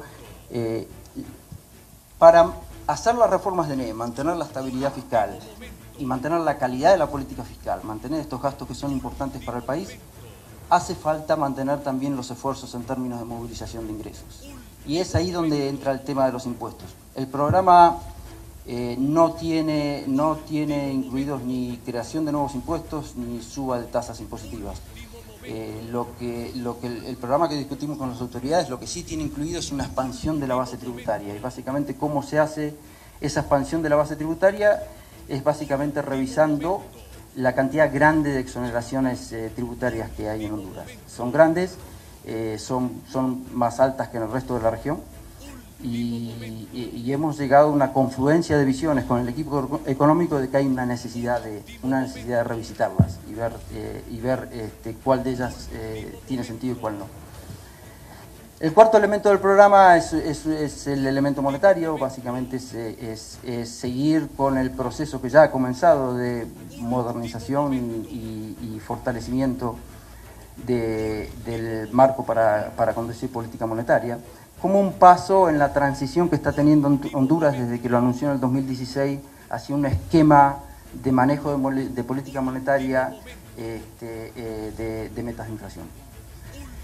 Y por último, el programa también eh, eh, le da prioridad a los temas de gobernanza, este, incluyendo, temas de, incluyendo temas de transparencia, este, incluyendo temas que van a mejorar el marco institucional en el cual se hace política macro. Estos temas de gobernanza, mejorar la gobernanza, eh, tienen el potencial para mejorar la calidad de gasto, mejorar los marcos en los que se hace política económica y, muy importante, eh, mejorar el clima de negocios, que va a ser muy importante para, para impulsar el crecimiento. Muy bien, gracias don Esteban. Vamos a cerrar con el periodista Ulises Aguirre de TN5. Buenas tardes a todos. Bueno, disculpa, nos quedamos acá porque es bastante difícil ponernos de pie. El señor Vesperoni, con lo que tiene que ver con las pláticas que ustedes han sostenido, bueno, les han dicho hasta dónde llega, a quién han puesto a la cabeza de este proyecto de rescate de la Empresa Nacional de Energía Eléctrica, que es el doctor Tábora, eh, qué rol juega en el mismo, y si por ahí no va el proyecto a mitad del camino y va a regresar a su misión diplomática en Washington, ¿qué saben ustedes que les han dicho? Yo creo que lo mejor es que esa respuesta la, la tenga el doctor Tábora.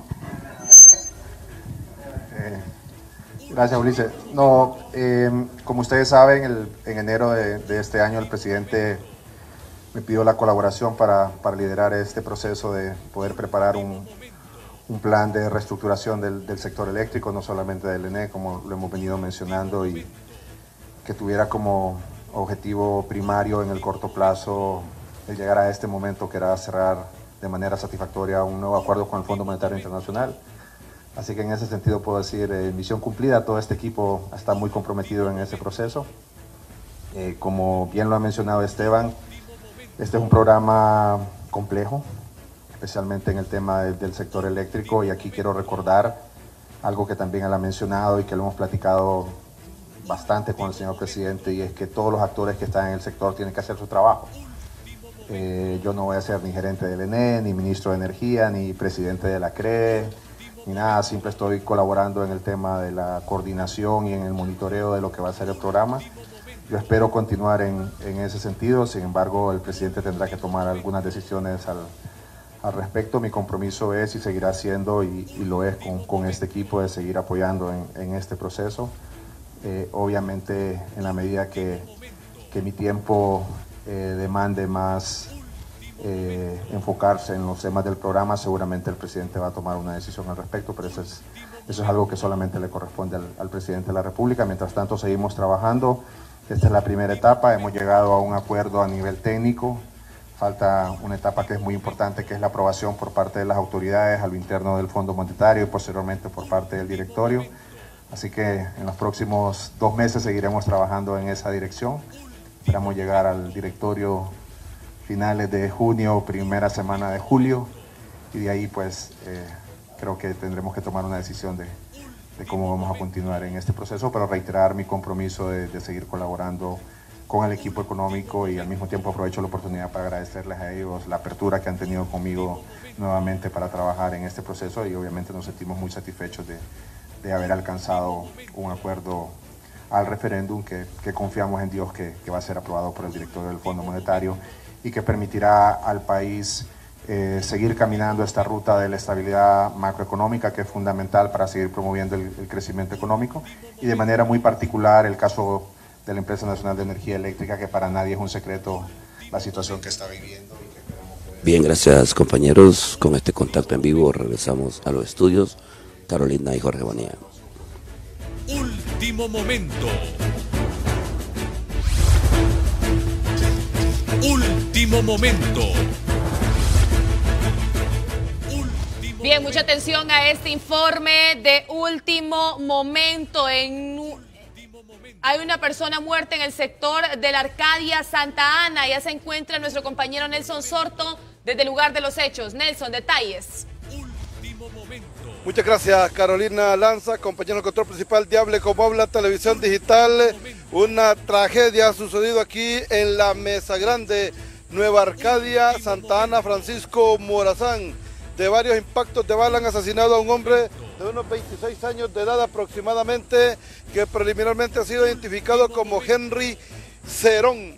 En la puerta de su casa quedó ahí, iba ingresando a su casa de habitación este mediodía cuando fue sorprendido y le han disparado en varias oportunidades. Ahí hay varios casquillos y usted puede ver imágenes exclusivas de José Oseguera. Su cuerpo quedó entre la puerta principal de entrada a esta humilde casa de madera y el patio que da acceso prácticamente a la calle principal de aquí, de este sector de la Mesa Grande en Nueva Arcadia, Francisco Morazán, aquí en Santa, en Santa Ana. Rápidamente, eh, se- señora, ¿usted lo conocía?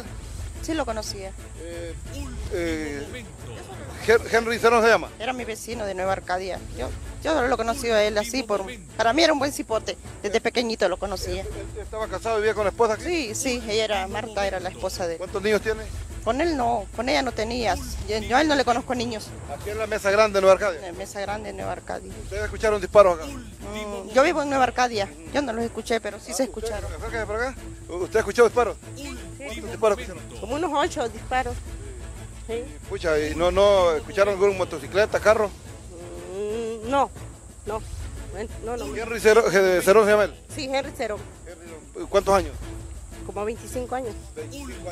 Bien, muchas gracias. Mire, Henry Girón, eh, Cerón, perdón, Henry Cerón, de 25 años de edad, ha sido asesinado de varios disparos en su casa de habitación aquí en la Mesa Grande, Nueva Arcadia, Santa Ana, Francisco Morazán.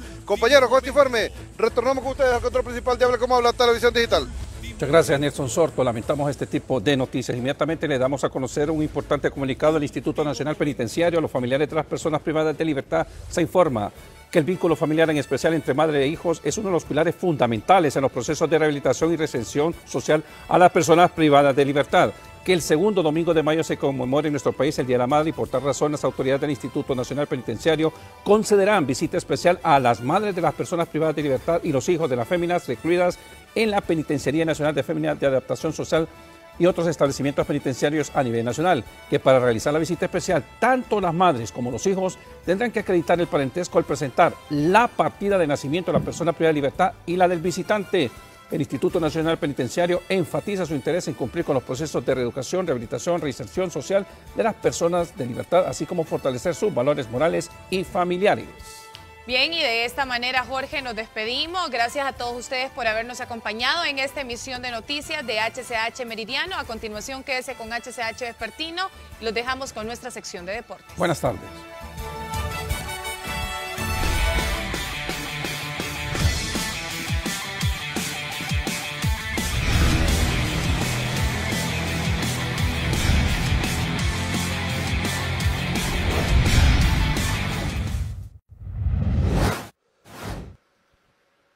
Muchas gracias, compañero en control principal de Hable Como Habla Televisión Digital, ubicados en mediaciones del río San José, donde aquí lo están completamente destruyendo con la extracción de arena y grava. Pero no nos trae eso hasta este lugar, sino que algunas denuncias que hemos estado recibiendo eh, de, los, em, de los vecinos de esta colonia residencial El Mimbre, eh, aledaño aquí a Yaguacire y otros eh, sectores a salida al sur. ¿Por qué? Porque aquí ellos han dicho que durante los últimos tres días han estado escuchando varias detonaciones de, de armas de fuego y que han observado policías que están en, este sector y que hay patrullas de policía. Pero bueno, pero la policía está aquí porque la semana anterior, o hace especialmente el viernes, eh, se ha informado que donde están los dos policías, que podemos observar a, a unos 20 metros donde estamos ubicados, ahí hay una, un, un, eh, una osamenta que está enterrada, un cuerpo un ser humano que está enterrado en ese sector. Pero debido a que esto fue el viernes y que el permiso de exhumación no salió, pues eh, todavía ellos siguen resguardando esa escena eh, del crimen.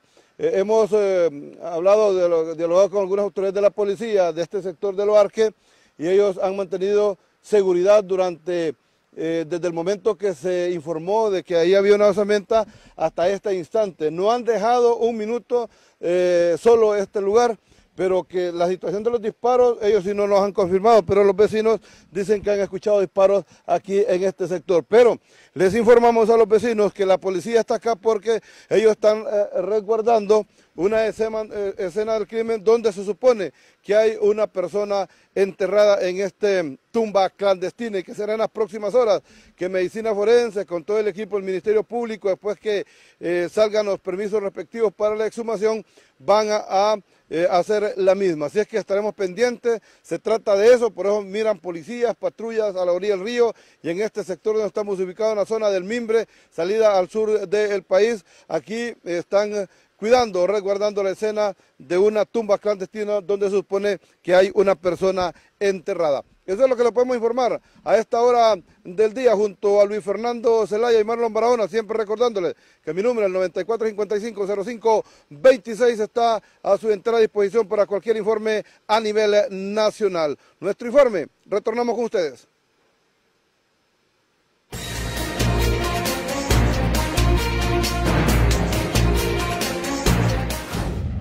Durante la humilía este domingo, el cardenal Óscar Andrés Rodríguez le volvió a recordar a los que andan en protestas que no es mediante la violencia que podrán alcanzar el triunfo. Y ojalá que me escuchen aquellos que están listos para denigrar e insultar. Jamás van a llegar a nada por ese camino. Jamás van a triunfar por el camino de la violencia ya lo decía el apóstol San Pablo, es duro dar goces contra el aguijón. Contra Dios no se puede. Acérquense a Dios, conviértanse, abran sus corazones al amor, dejen el odio y la maldad. Por ahí no van a llevar, no van a llegar a ninguna parte. Por otra parte, Moscú, el ministro venezolano de Relaciones Exteriores, Jorge Arreaza. Palestina. Los palestinos aceptaron la madrugada de este lunes un alto en fuego en la franja de Gaza, indicaron dos responsables palestinos y un egipcio, tras un fuerte aumento en la tensión durante dos días que despertó el fantasma de la guerra en el enclave. Estados Unidos. Estados Unidos instó a Rusia a salir de Venezuela mientras Moscú exhortó a Washington a cesar sus planes irresponsables en un nuevo choque verbal entre las dos potencias sobre el país petrolero asociado por la crisis. Rusia. El avión que se incendió mientras hacía un aterrizaje de emergencia en el aeropuerto de Moscú, matando a 41 personas de las 78 a bordo, se quedó sin comunicación por radio. Cuando fue impactado por un rayo, dijo el piloto citado por medios rusos. Una aeromoza dijo que hubo un fuerte relámpago poco después de despegar la tarde del sábado del aeropuerto Yeremetyevo rumbo a Murmansk. HCH Internacionales.